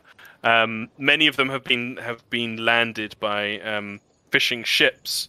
Um, in general, uh, taking food from the sea is not frowned upon, but um, it creates a tenseness in a lot of communities. There is quite a reverence of water and the sea, um, even in such a, a built-up and developed um, society as Hesperia. Um, it still survives amongst the people, um, and so what you end up reading about is a lot of different legends. Um, there are legends of these great whales and and huge sharks and other creatures. The fact, um, sixteen, the fact that it, it does seem to be one uh, long creature leads you to think it is something with with fins. It's not a, a giant squid or anything like that. Um, it looks like it, it's either going to be uh, a very large uh, whale that's following along behind the ship, um, or the more worrying uh, potential is that it's one of these uh, legendary sort of razor uh, razorback sharks that live beneath the waves, um, and that, should it wish to, could deal heinous damage to the ship itself. Yeah. So that's what comes to mind for the Burgomaster. Looks like it might be a whale to me. Some of the crowd, um, you hear murmurs of agreement, like, "Oh yeah, right, just uh, just a big whale," and they start to disperse. Does the Burgomaster want to do his his plan, or? What plan? He doesn't have a plan. yes, you did. You told the Oh, yeah. Lord that you'd station people around the ship. Yeah, go on then. Okay. So you walk around. Does he pick out people in particular, or is it just the Anybody that- first like people he came across? Well, well, it sounds like most of the first people he'd come across would be children, so perhaps not. I don't know. Um, But yeah, probably anybody who looked like the first people he came across that looked vaguely trustworthy. So not Dorwell. Dorwell's off doing his own thing. Um, cool. You pick people out. Um, this early on in the trip, none of them are particularly resentful of being given this job to do, and it's, it sounds important as coming from a man dressed so uh, importantly. Um, they position themselves around the ship, and does the burgomaster consider that the end of the ordeal and head off to do his own thing? Pretty much until he hears anything else. Okay, very good. So with the the people put on watch, you head off to do whatever the burgomaster does uh, with his spare time. Um, the day rolls on. The sound of the crashing waves against the side of the ship and the fluttering sails above. The sailors going about their business. You notice uh, any of you unfamiliar with a ship uh, might find it interesting that the the sailors work in shifts. They shift out, and a new set come on to get their work done. The others head below decks to sleep. Um, the the day begins to draw to a close. Is there anything that anyone would want to do as the day comes to an end? There is something Mhm. Portia wants to do, yeah. Mine's really quick. Yours is going to go second. Yeah, you, you go you first, Hannah. Yeah, Salia. Yeah, Salia just gathers everyone for another drink. Asks them what they were doing all day. Excellent. Make sure it was uh, useful at least. Her little group. Yeah, all in the little group. Yeah. Many of your group have, um, which I think was a purposeful thing with Salia's choices, have practical professions um, and can continue to work on their professions even whilst on the ship. Um, carpentry, you can see they they've been working on bits in case the ship needs patching. Um, they've been sizing up the boards and the timber used for the ship and matching it to some of their own supplies that have been brought along. Um, the tabaxi um, isn't particularly um, amenable to your sort of casual um, style.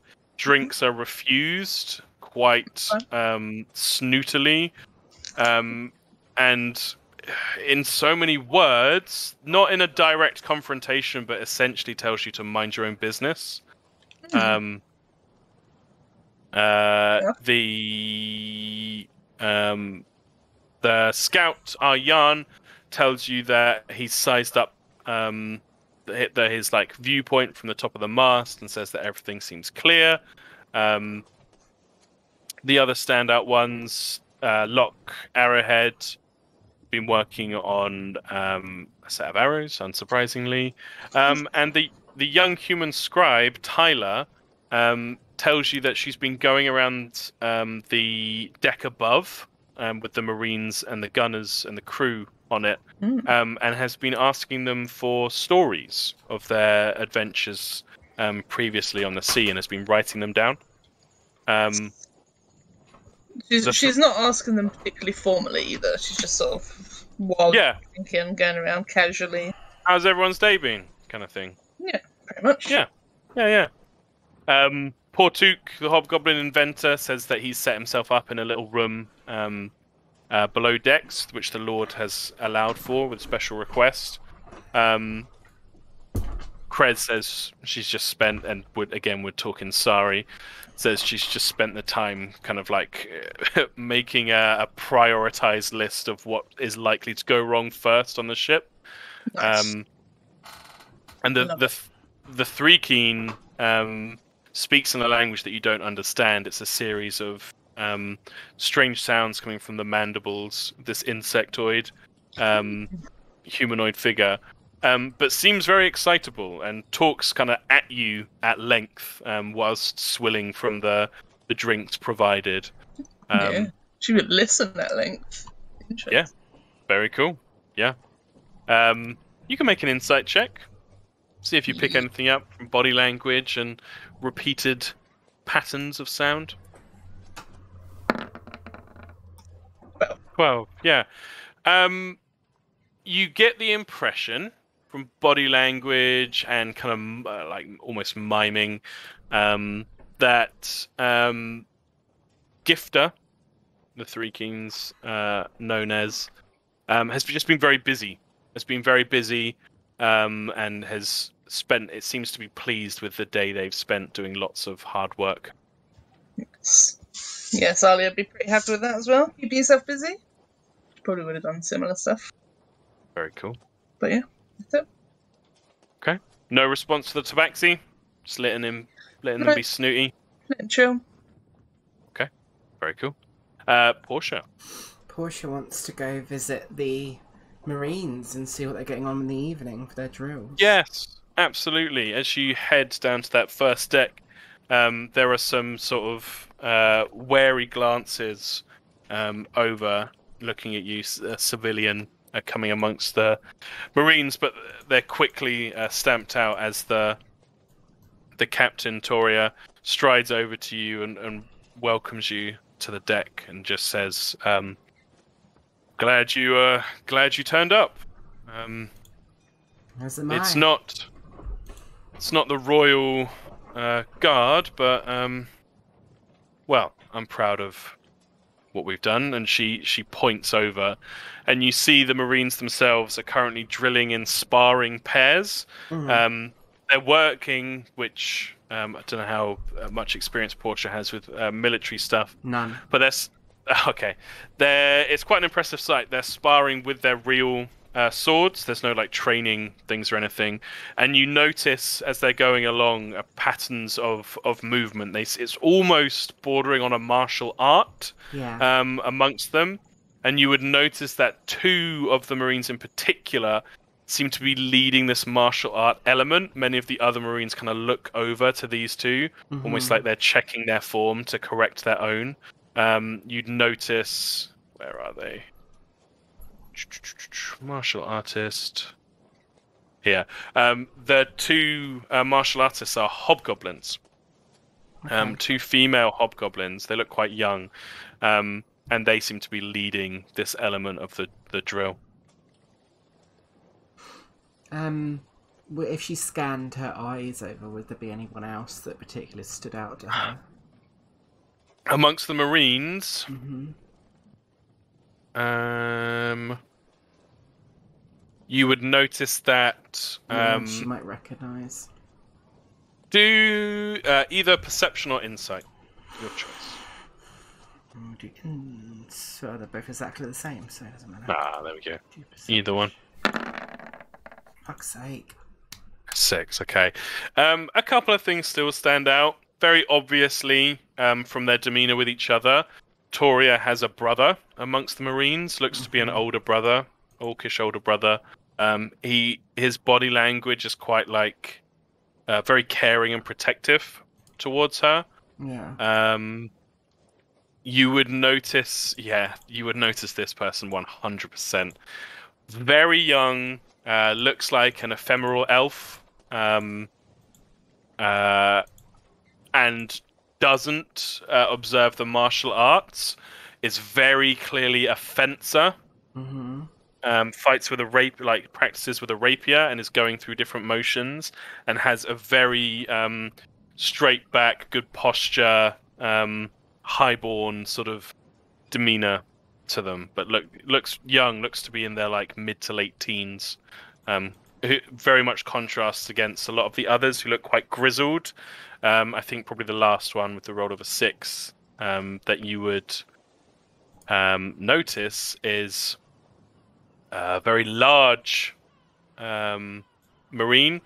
Doesn't wear the uniform the same way the others do. Has like a, a ragged vest over the, a very uh, well muscled uh, chest.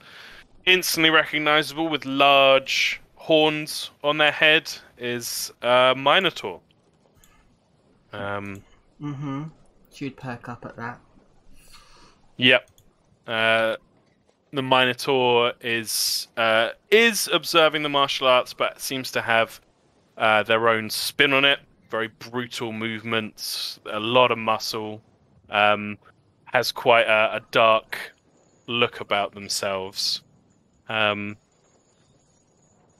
has Portia seen the person before that she's looking for?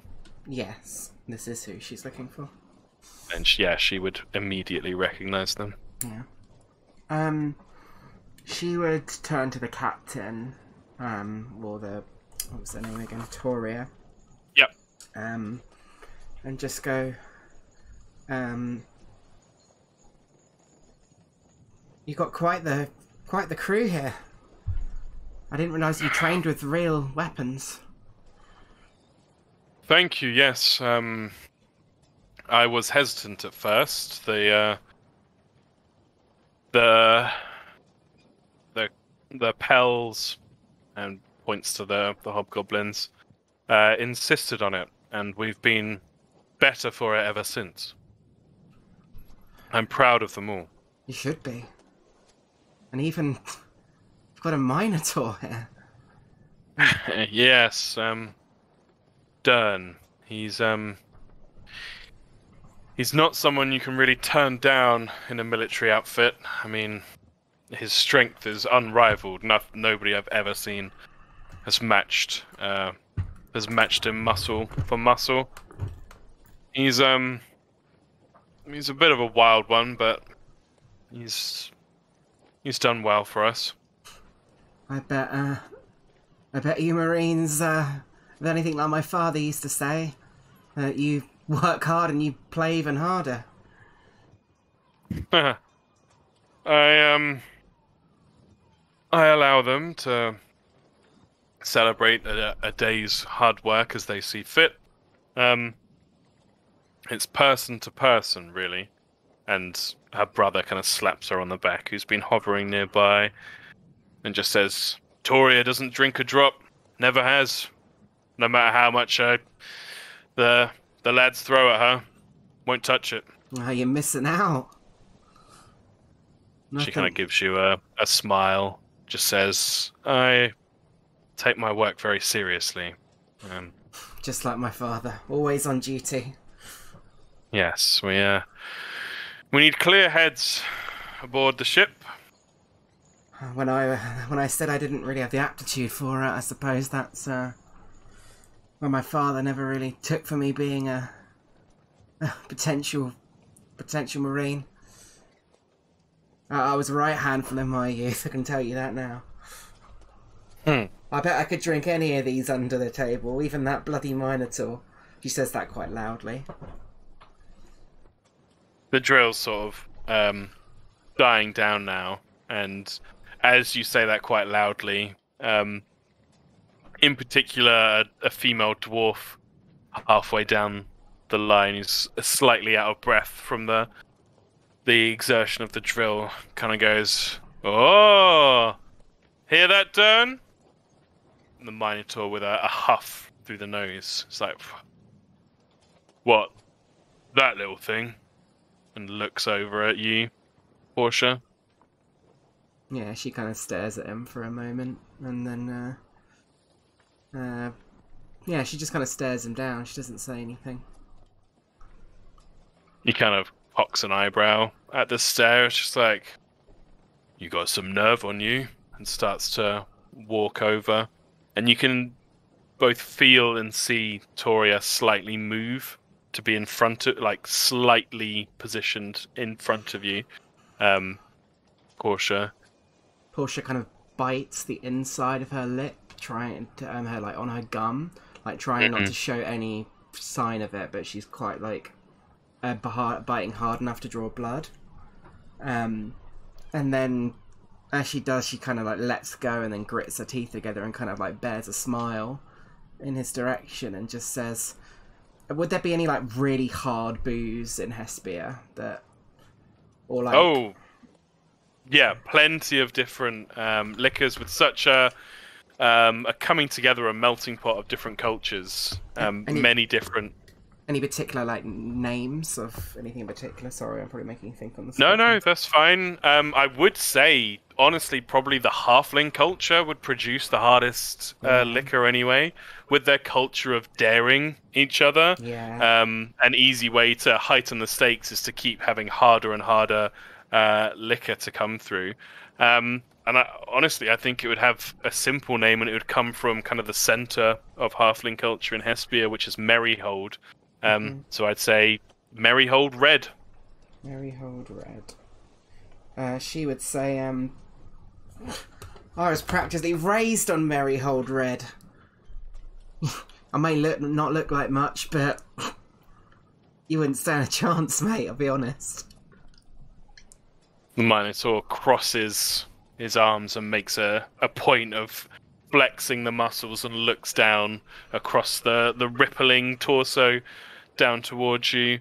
Um, Portia and just huffs again. You've got no chance. Prove it.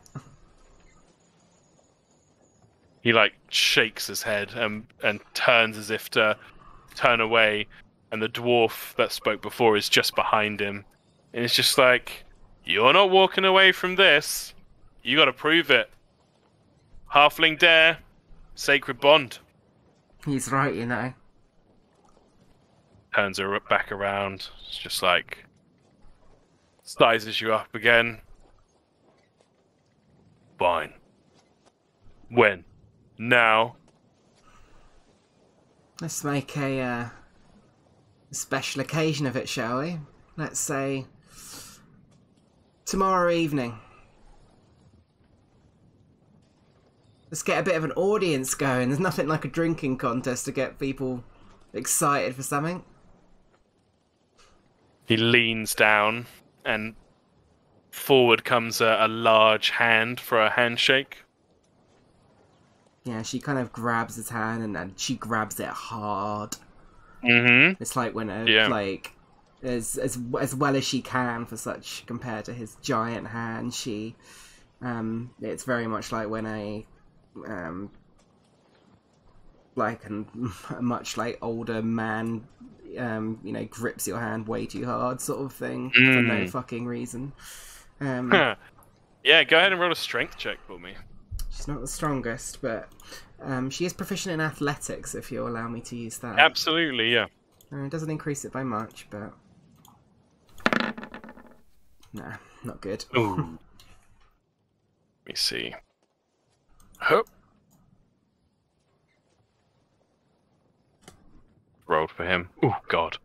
Yeah. hmm. Yeah, you you go in with a an an iron uh, clasp to your hand, or so you think, but the hand just disappears inside this giant mitt uh, of Dern Bloodhorn. As as it c- comes around yours, begins to squeeze. Go make a Constitution saving throw for me, please.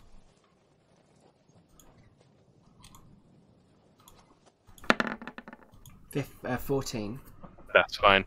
As he squeezes, you can feel the bones in your hand begin to shift and move, Mhm. um, and you have to kind of bite back a, a bit of a yelp in the bubbling up in the back of your throat. But as he's leaning in and squeezing with his hand, Toria just pipes up and just says, "That's enough." You can see there's there isn't an immediate obedience. Um, there's a hesitation before Dern stands back up, kind of almost in a dismissive way, lets go of your hand, and just says, "Tomorrow," and walks off, stomping away. Tomorrow it is. She just stares at his figure walking away the entire time. Yeah, Toria gives you a a look and then just kind of says, "I um made it my business never to to get on the bad side of a halfling, and well, I wish you the very best of luck tomorrow." She kind of doesn't like answer it immediately, like leaves a noticeable kind of like three to four second gap, and then sort of like just suddenly turns her head up and smiles at her and says, "Ah, it's all in just in good fun, isn't it?" Hmm. She gives you a bit of a penetrating look. Um, roll a deception check for me, please.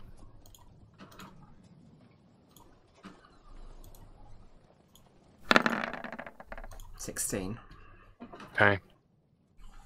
The the eyes are narrowed uh, for a moment before she just says, "Yeah, um, I think it's good for the for us to get to know the civilians. If you wanted to to bring along uh, any friends or or acquaintances um, tomorrow evening, perhaps we'll all celebrate the beginning of the voyage together.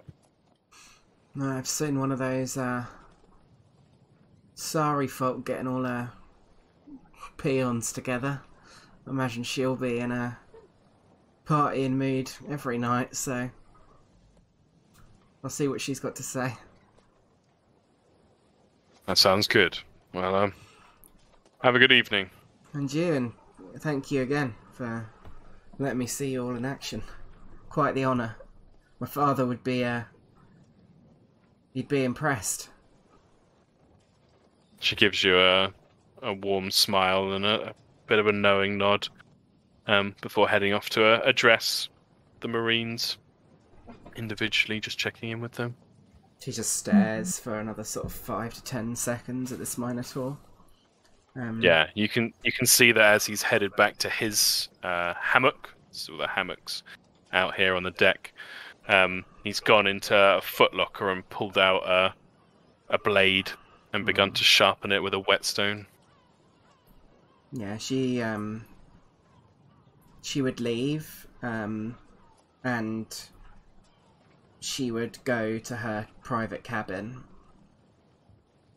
and um she would just like she would lock the door if there was a lock on it It would be, yeah.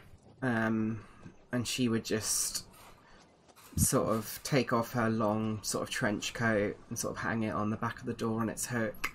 Um, go to the sort of small, which I imagine is quite a small bed for a halfling and quite low to the ground, and sort of kneel beside it and take um, the sword out. Um, and you'd notice she's wearing sort of a long white sleeved kind of shit like sort of cottony kind of shirt that she sort of um is kind of held at the wrist is like held down with these like sort of black kind of um quite tight like almost too tight you think for like sort of not a, it's kind of I don't know what the material would be called because I can't remember what it's called it's like kind of like a rubbery kind of elasticity to it material but it's but it's tight um and she kind of like pulls it very tight and like pulls them off and then like slowly winds up her shirt and um if anyone was watching in on this they would see deep kind of scars all along her arm up her underside of her arm. And she um takes her scimitar and she you see like sort of um there's kind of like beads of sweat running down her face. Um, she kind of like spits out a bit of blood from where she bit into her um, gum earlier, and she takes out her scimitar and she just slowly cuts into her arm. Um, and then, as the sort of blood pours down, she just like grits her teeth and um, closes her eyes and um, she would grab like a, a cloth nearby and just um just like hold it on the wound until long enough for it to sort of stop bleeding heavily and then pull the shirt back down once more wrap it in the hard tight elastic and um yeah get into bed Mm. Point of inspiration, I think, thank you for that. Amazing. I've got one more thing to add to my story. Please. Just a little bit. Because I just noticed the name of the tabaxi, which is kind of cool. Mhm. So a little bit later in the night, so Salia's getting drunker. She does a little speech. I'm not going to do the speech, but she'll get like a little drunk speech Yep. with thaumaturgy getting in there as well, making Oh. it really loud. Very cool. And um, she's just talking about the nobles and how they're all uppity and look down on everyone and blare to all of them and why the ship shouldn't have all these roles and should all work together as a team. And then she looks to uh, looks to the tabaxi And she's just, um, well, we all know who will sink or swim at the end of the day. It's those that don't work as a team. Don't we? you would see very uh, clearly Claus, um, the tabaxi who's been sat on a on a storage crate nearby, um, and sort of only sipping drinks coming round. Um, has their their hands resting on the crate, and you just hear the sound of uh, cracking wood as the the claws dig into the sides of the crate as the tabaxi holds eye contact with you as you say that. Yeah, it's, it's, she does it in like a sort of challenging sort of way, not so much a, an aggressive way, but it's um, but she definitely looks directly at her before turning back to just her speech and ending it with a big like booming sound and lots of drinks flying everywhere. Very cool, and you would uh, hundred percent um, have noticed, drunk or not, that um, a lot of the the different cultures, even within your group, um, really come to the fore. The goblinoids kind of party together, um, telling stories um, in Goblin. Um, that uh, well, does Salia know Goblin? No, no, telling stories in Goblin that sound very exciting from their um, the tone in their voice. Um, the uh, the two Sandborns, um, Serica and her her daughter Serge, um, have little drinking contests, even though Serge is only fourteen. Um, very much, all of these people that you've chosen um, take on a real um, party vibe. The gifter, the thri-kreen, has a drink in each of uh, their four Oh. hands, hell yeah. um, and it's just going hell for leather. Um, Krez is enjoying, and actually would bring to the party uh, her own sort of moonshine distilled um, no. liquor, which is very strong. Um, but yeah, it, it's a successful party, and there's a there's a real sense of bonding there. Good. That's, yeah, that's it though. Very cool, very cool. One thing for they sleep. Yep. Pushkin would just want to go watch what the gunker's doing downstairs in the hold. Okay, interesting. Just wants to see how he's growing mushrooms and all that stuff. you make your way down uh, into the hold. Um, you can see down there various uh, bits of cargo, the sounds of um, unhappy livestock and animals coming from one side in a, a caged area. Um, you find Gunker um, to the at the back of the ship, in the very back uh, end um, in the cargo hold. Um, he's hunched um, over, and as you come round with, uh, well, actually, you're Tabaxi, you've got dark vision. Um, would uh, Pushkin have like a lantern, or just using his own dark vision? And He'd have he like make a ball lantern. known? Um, yeah, he'd have like a ball lantern. Yeah. Um, Chuck, uh, you see as you come around the corner, um, stands up. He'd previously been in a, like a hunched position, and you see this almost like little nursery um, of uh, just tiny. Um, uh, I don't know what it's called for a mushroom, bud budding um, mushroom bodies um, beginning to to grow. It's actually quite like impressive. spores. Yeah, it's it's quite an impressive amount of growth already just for the the day um, that you've spent there. Um, and you would have noticed that as he was hunched over, he had multiple of these pseudopods stretching out from his body, and each pseudopod split and split and split again.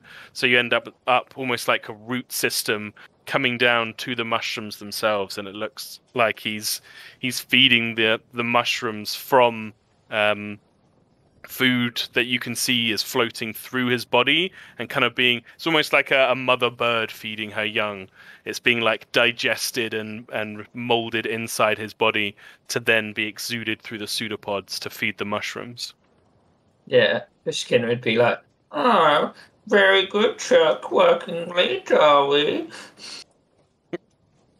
He uh, returns to his standing position, and the the pseudopods all retreat into his body, and you see there the familiar air bubbles begin to make their way up towards the the head, and you see the mouth form once more. And he goes, "Always brooms." He pats him on the back and he's like, "Feel free to carry on. I just wanted to see what you were doing down here." he reaches down um, and with a very gentle pseudopod that turns into almost like a little uh, trowel shape scoops up the little patch of of um, uh, soil and you can also see like molded uh, wood in there as well and holds it up right uh, in front of you with a big smile on his face and just says brothel Beautiful, beautiful. I'm glad I chose you to be under my, well, in my little cohort. You seem very, very keen. You see a, a bigger air bubble, notably bigger, sort of come up and louder than perhaps he needs to, uh, stood so close to each other. Just goes, friend. He'd hold out his little hand and be like, yes, friend. You see the the pseudopod come out and just like momentarily wrap around your hand, and it doesn't shake up and down. It just holds the hand, and the big smile impossibly gets even bigger um, on his large green face, and he just says, "Truck, friend." And Pushkin's like, yes, Pushkin, friend. And you see that smile just stays there as he releases your hand. Um, Pushkin will be like, I don't, I hope you don't mind if I sit and watch for a while, Chuck. Mushroom. And he just turns back to tending the little mushrooms along the floor. Pushkin would probably wait, for, would watch for about 20 minutes just to see his process and then bid him adieu, go back to bed. Yeah, it's it's impressive. He tends to each one like a little child of his own, making sure they've got enough nutrition and they're well bedded into their their growing medium, as you were. Yeah, and as he left, he'd be like, Pushkin, you devil, you, as he twiddles his um cane on his hand and goes back to bed. Amazing. okay. Um, the night passes. Depending on your previous experience at sea, perhaps you rest well uh, in your beds. Um, perhaps not so much. Perhaps some of you prefer a hammock. All can be provided. Um, any who spend uh, any moments near the Lord uh, Quivershank's quarters would hear loud, uh, comfortable snoring um, of Lord Quivershank, happily dreaming away of new Quivershank ahead. Um, but the night passes and a new day dawns. Take us back here. Could I please, Portia, a survival check, please, Or our navigation check for the day? Of course. Um, Oh, uh, sorry, with advantage because you are being helped by Specular Sophist Mills. 17. 17 is absolutely fine. If you want to move us another six. Oh, sorry, before you do that, Oh, thank you for catching that. Um, we need to, uh, to check the weather first. Could I have, um, from anybody, a d20, please? I'll take the first one that rolls. Oh boy, howdy. A 17. 17. So the weather is changing. With that, could I have a second D20, please?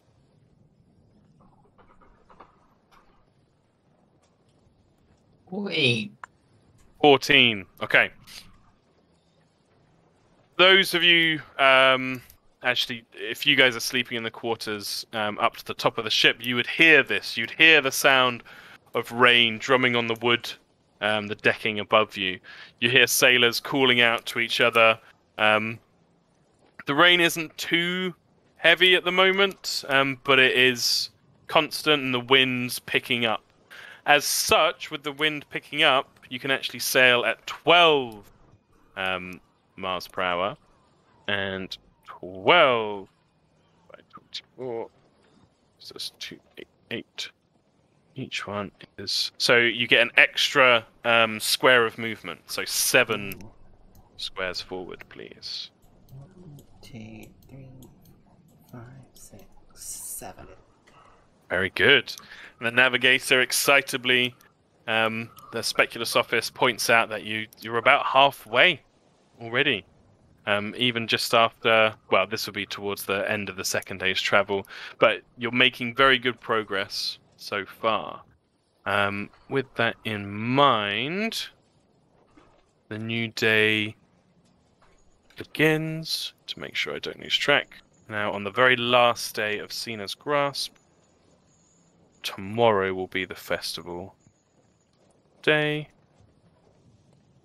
Du, du, du. Perfect. Could I have everybody, please, once more roll a charisma check?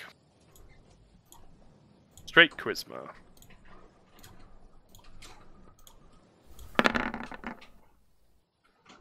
Two, 13, six. Okay, Salia is the lowest. Interesting.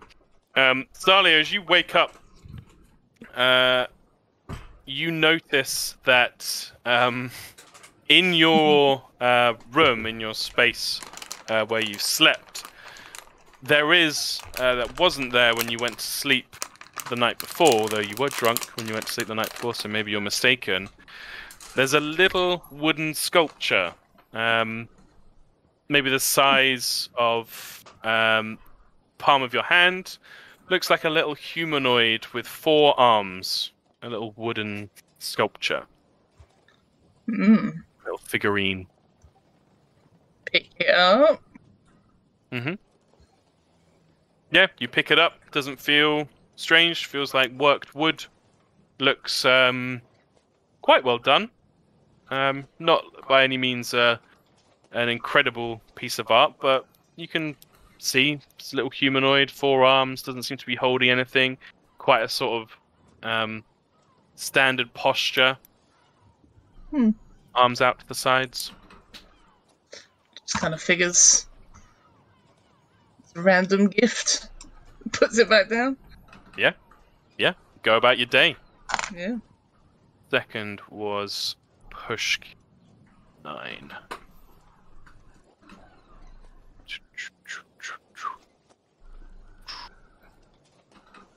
Yeah, Pushkin.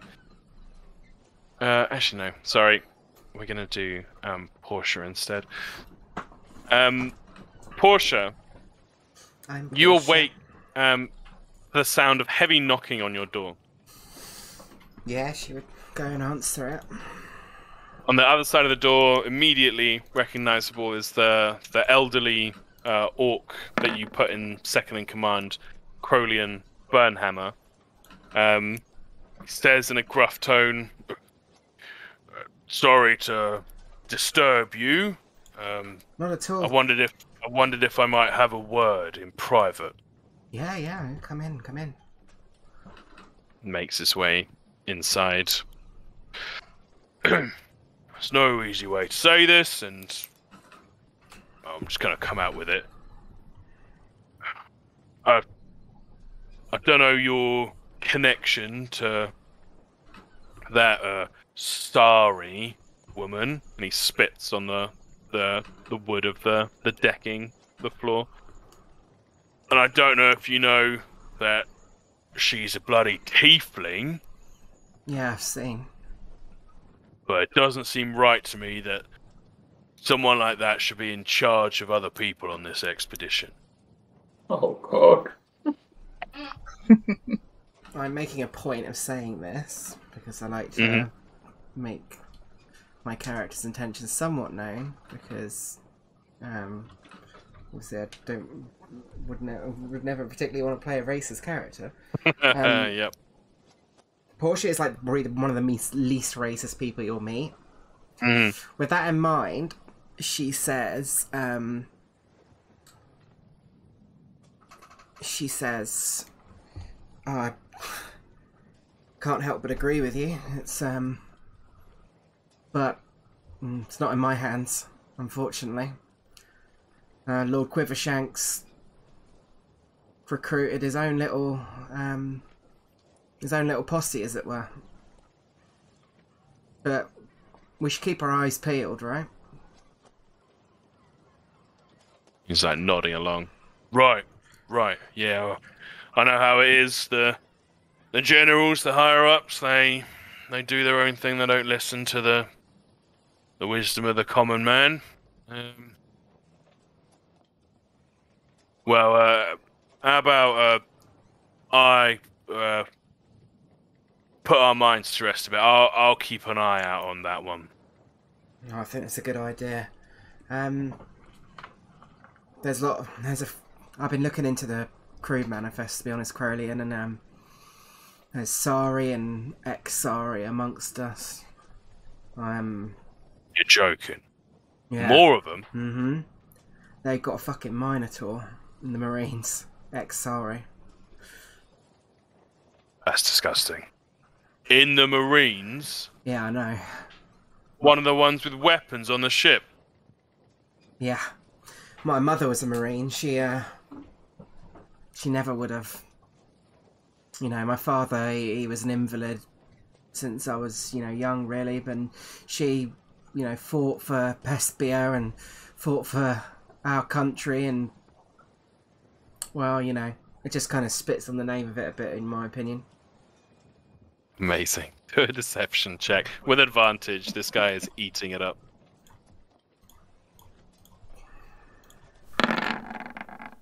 Uh, 20. Dirty 20. Yeah, there's like a little sparkle in his eye. He's like, well, sounds like an honourable woman. There's nothing your your father could have done either. That's just a poor hand dealt. Yeah. Uh, well, is there anything we can do? I know that Well, you'll be, uh. High and Mighty Tiefling is going to be untouchable. She's in charge, but if it's just a grunt, one of the Marines, You've heard one of the sayings, uh, keep your friends close but keep your enemies even closer. Um, of course. come round the hall tonight, you'll see, um, I've already put some things in motion. I've, uh, I've invited him to a little drinking game. All right. Get them all liquored up. Yeah. Drop their guard. Exactly. I don't want to, you know, I'm not saying doing anything violent or anything, you know, just, we're just, uh, we're just, we're just making sure they, they know we're here. Taps his nose.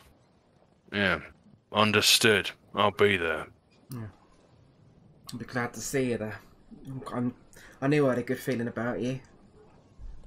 Yeah. You, you too. You keep that uh, boy of yours strong, yeah? Of course. Always have. Always will. Good to Kind of gives you a proper nod and makes his way to the door to head out. Yeah, she kind of sees him out and then shuts the door and then spits on the fucking floor. Yep. Damn, she really don't like sorry.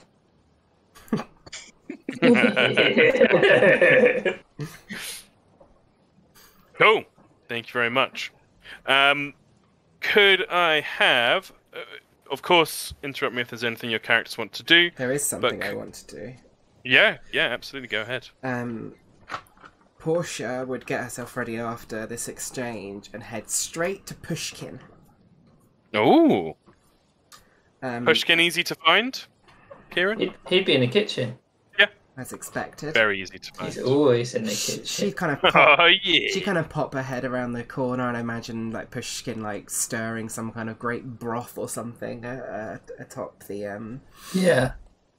the thing. Um, and she would like, uh, "Morning, Pushkin." There. Hello. You. It's all right. I don't, I know I'm not exactly a biggest personality in our little friendship group. Uh, I'm Portia, Portia Lighthollow, Sister Right, I. Navigator. Ah, yes, I remember you from the meeting halls. Well, um, Well, you obviously know my name. Yes. I mean, who couldn't? You're uh, quite the celebrity around here. I've got everyone in my little under my little wing, sort of chatting about you. Well, when, it, when you're the one feeding everyone, then I suppose it's good to know my name. Quite. I mean, to be honest, that's why I came and saw you. Um, I've. Uh, I mean, I don't know much you know about us halflings, but we are pretty famous for our, you know, dares. Um, and well, I couldn't resist to be honest. I got myself caught up in another dare. Um, and I've, I, you know, I've been challenged to an old drinking game, and to be honest, um, you know, I got a bit of a reputation to uphold amongst the people. I, you know, I sort of oversold myself maybe a little bit as a, a big drinker, and you know, someone who could take their booze no matter what. So, um, I was mostly wondering, do you have anything, um, in your your fine uh, cooking career that you've put together, maybe that you know will line the stomach extra good and make sure, uh, you know, it's not going to get. I don't want to get. I don't want to get too drunk. You know, I want to. I want to have fun. I want to. I want to win this little dare of mine, but I don't want to. Uh, I don't want to be drunk under the table, if you know what I mean. I have something that you kind of like narrows his eyes. You don't think he can win, yes? Is that what you're saying? She kind of like uh, like sort of sighs a little bit, and she's like, "You got me." I'll be honest. I'm a pretty average drinker, to be honest. I just Um, talk a Yeah, big real. game sometimes. I have no real interest in drinking competitions, but um, you pat my back, and I maybe can give you something to pack yours. Of course, you you name whatever, and I'll if it's within my power, I'll I'll make it happen for you. So he's got this almond milk, which if um, she managed to spike the other person's drink with, it could put them asleep. Mm. It's very Hang on. I'll um, just gotta find the manual. No, very cool. Uh, I will ask as well. Um, I, I'm fucking loving Portia's weaving uh, around, but I, I'm, uh, I'm not. I didn't ask for a deception check straight away because it's, it's being done so well that Pushkin has no real reason to believe that Oh. that Portia's lying right now. so Pushkin was gonna doesn't care, but he's gonna ask for something. perfect. Yeah, he's not gonna give it no to him need. unless there's something. Yeah, no need for any of those checks then. Almond milk. Yeah, she sort of specifically sort of say, "Have you got any?" Mechanically, she's like, "Have you?" You know, I'm not going to say. Obviously, she wouldn't say, "Have you got anything that would give me advantage on my Constitution saves?" So he's But- got if there is so this- anything like that, that would be very useful. so he's got almond milk, which is one of his morsels. Target must make its con saving throw. On a failed save, they will fall unconscious in one minute and remain unconscious for ten minutes. Very cool. So It's very. he would o- he would offer that. So not not Portia's original intention, but maybe something she could use um, to to to get um, what's his face drowsy, perhaps. She definitely Yeah. she wants it. It's not that she doesn't want it, but it's all about. I mean, mechanically, it doesn't need to be a morsel. If there was just food that Pushkin would recommend for a uh, a well full stomach that can soak up alcohol, um, I'd gladly give that as uh, performing the same mechanical role. He would just tell us stuff that can line your stomach for free, but he would offer that if um she owes him a favor at some point in the future. Yeah, I think if that if she does if he does that because she's like she you'd see her kind of react like oh I don't know that feels a bit like cheating you know um fine I'll I'll, I'll take it as a precautionary backup in case he gets um too much of a lead on me Um, hey, can can I see Portia's list of people? Uh, you were all present when you chose your different people, so yeah, I will change people's lists to be viewable to everybody.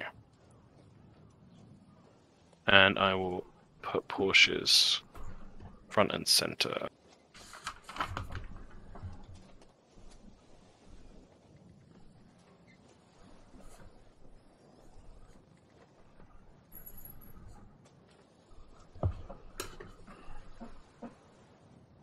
Okay I've just got in my notes Crowleyan is a racist cunt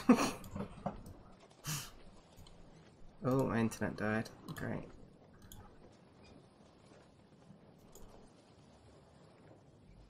Oh yeah, it definitely has died.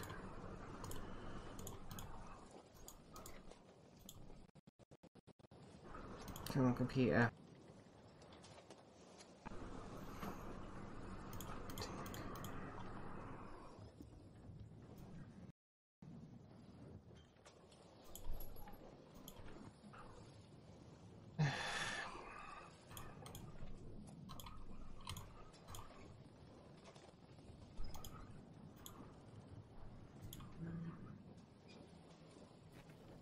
It's not like the best thing, but you can imagine if you ate it slowly, it might Yeah. line your stomach. Sounds perfect to me. Sorry, my internet died halfway through, so I didn't get any of that. Oh no! Uh, Pushkin is um, offering um, uh, Portia uh, his his morsels, sorting um, her out like for this stuff now, but also for the rest of the journey. Mm. Um, food as she needs, and potentially even once you reach uh, the Isle. But in exchange for Tick Oof coming from uh, uh, list of uh, people to uh, Pushkins. Oh, um, she'd insist then as like an extra thing, like saying, "I'm happy for you to take Tikoof, but I'd like you to take Tick Hab with them as well. I don't want to separate uh, the family unit like that." Oh yeah, Pushkin more than happy. Yeah, that's fine then. She'd be Excellent. like, "Sounds more than fair then." Takes a load off my mind. Yeah, she'd give. He would give her, um, her the almond milk for spiking and the hardened bread to help um, line her stomach, and also a load of other sh- like food as well from the stores. So that what does the hard hardened bread do, Tom? I mean, the hardened bread is meant to hurt you, but I It has its like own hard- stuff, but I think it sounds like the perfect like stomach lining stuff. So that'll be your advantage on con save for Cool. drunkenness. And the armor puts someone to sleep. Yeah. Yeah, I think the con save would be. Uh, God, what is it for Pushkin? Awesome. That's exactly what I wanted. So I love it. I love all it. the hunter gatherers. Yeah, very cool. I want a, Just- I want, I want a monopoly on the food market. I'm just updating it now. That's updated for you, Kieran. I'll just remove those two bushes. Sleep. Pushkin would be like, "Yes, I'm looking for. I I'm not into hard drinking, but I will watch to see how well my ingredients go down." good to hear it. Well, I'll be glad to see you there. It's this evening. We meet. Uh, it, she probably like designate like a general meeting place where people. Yeah. Yeah. Yeah, yeah. He she- would also be like, "Here, take a little bit of rabbit and uh, apple sauce with you. Just a freebie." she takes it and kind of dips her little finger in it and licks it, and it's just like, oh, pushkin, quite delicious. Yeah, it's rather rich, isn't it? Good luck in your little competition, Portia. Thank you, Pushkin. Have a Yeah, productive day. Look round to his cook and be like, "You say nothing of this girl." Yeah, Saria, who's just been there working away the whole time, is just like, yes, chef.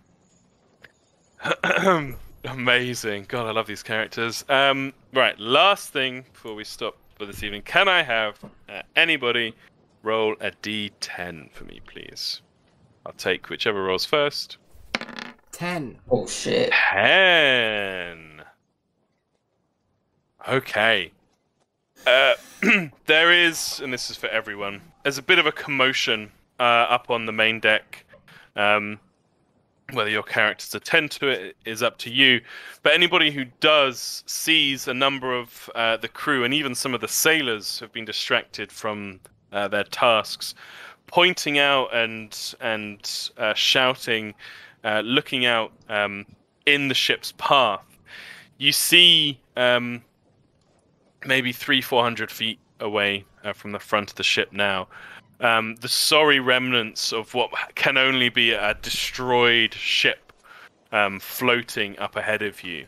Um, in amongst the wreckage, there looks to be maybe a half dozen people, clearly waving um, and looking to gain the attention of the large uh, quiver sail.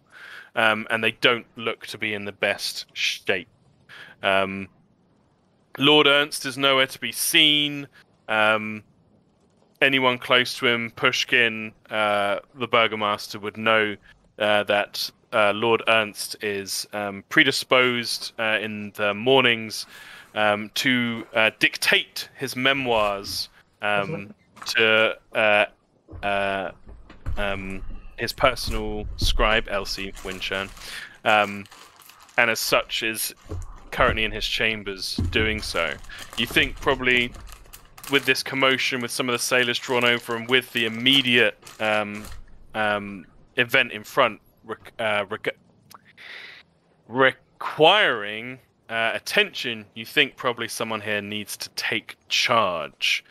But with those thoughts, as Anya's hand goes straight up, uh, with those thoughts, um, I will draw this first uh, session to a close.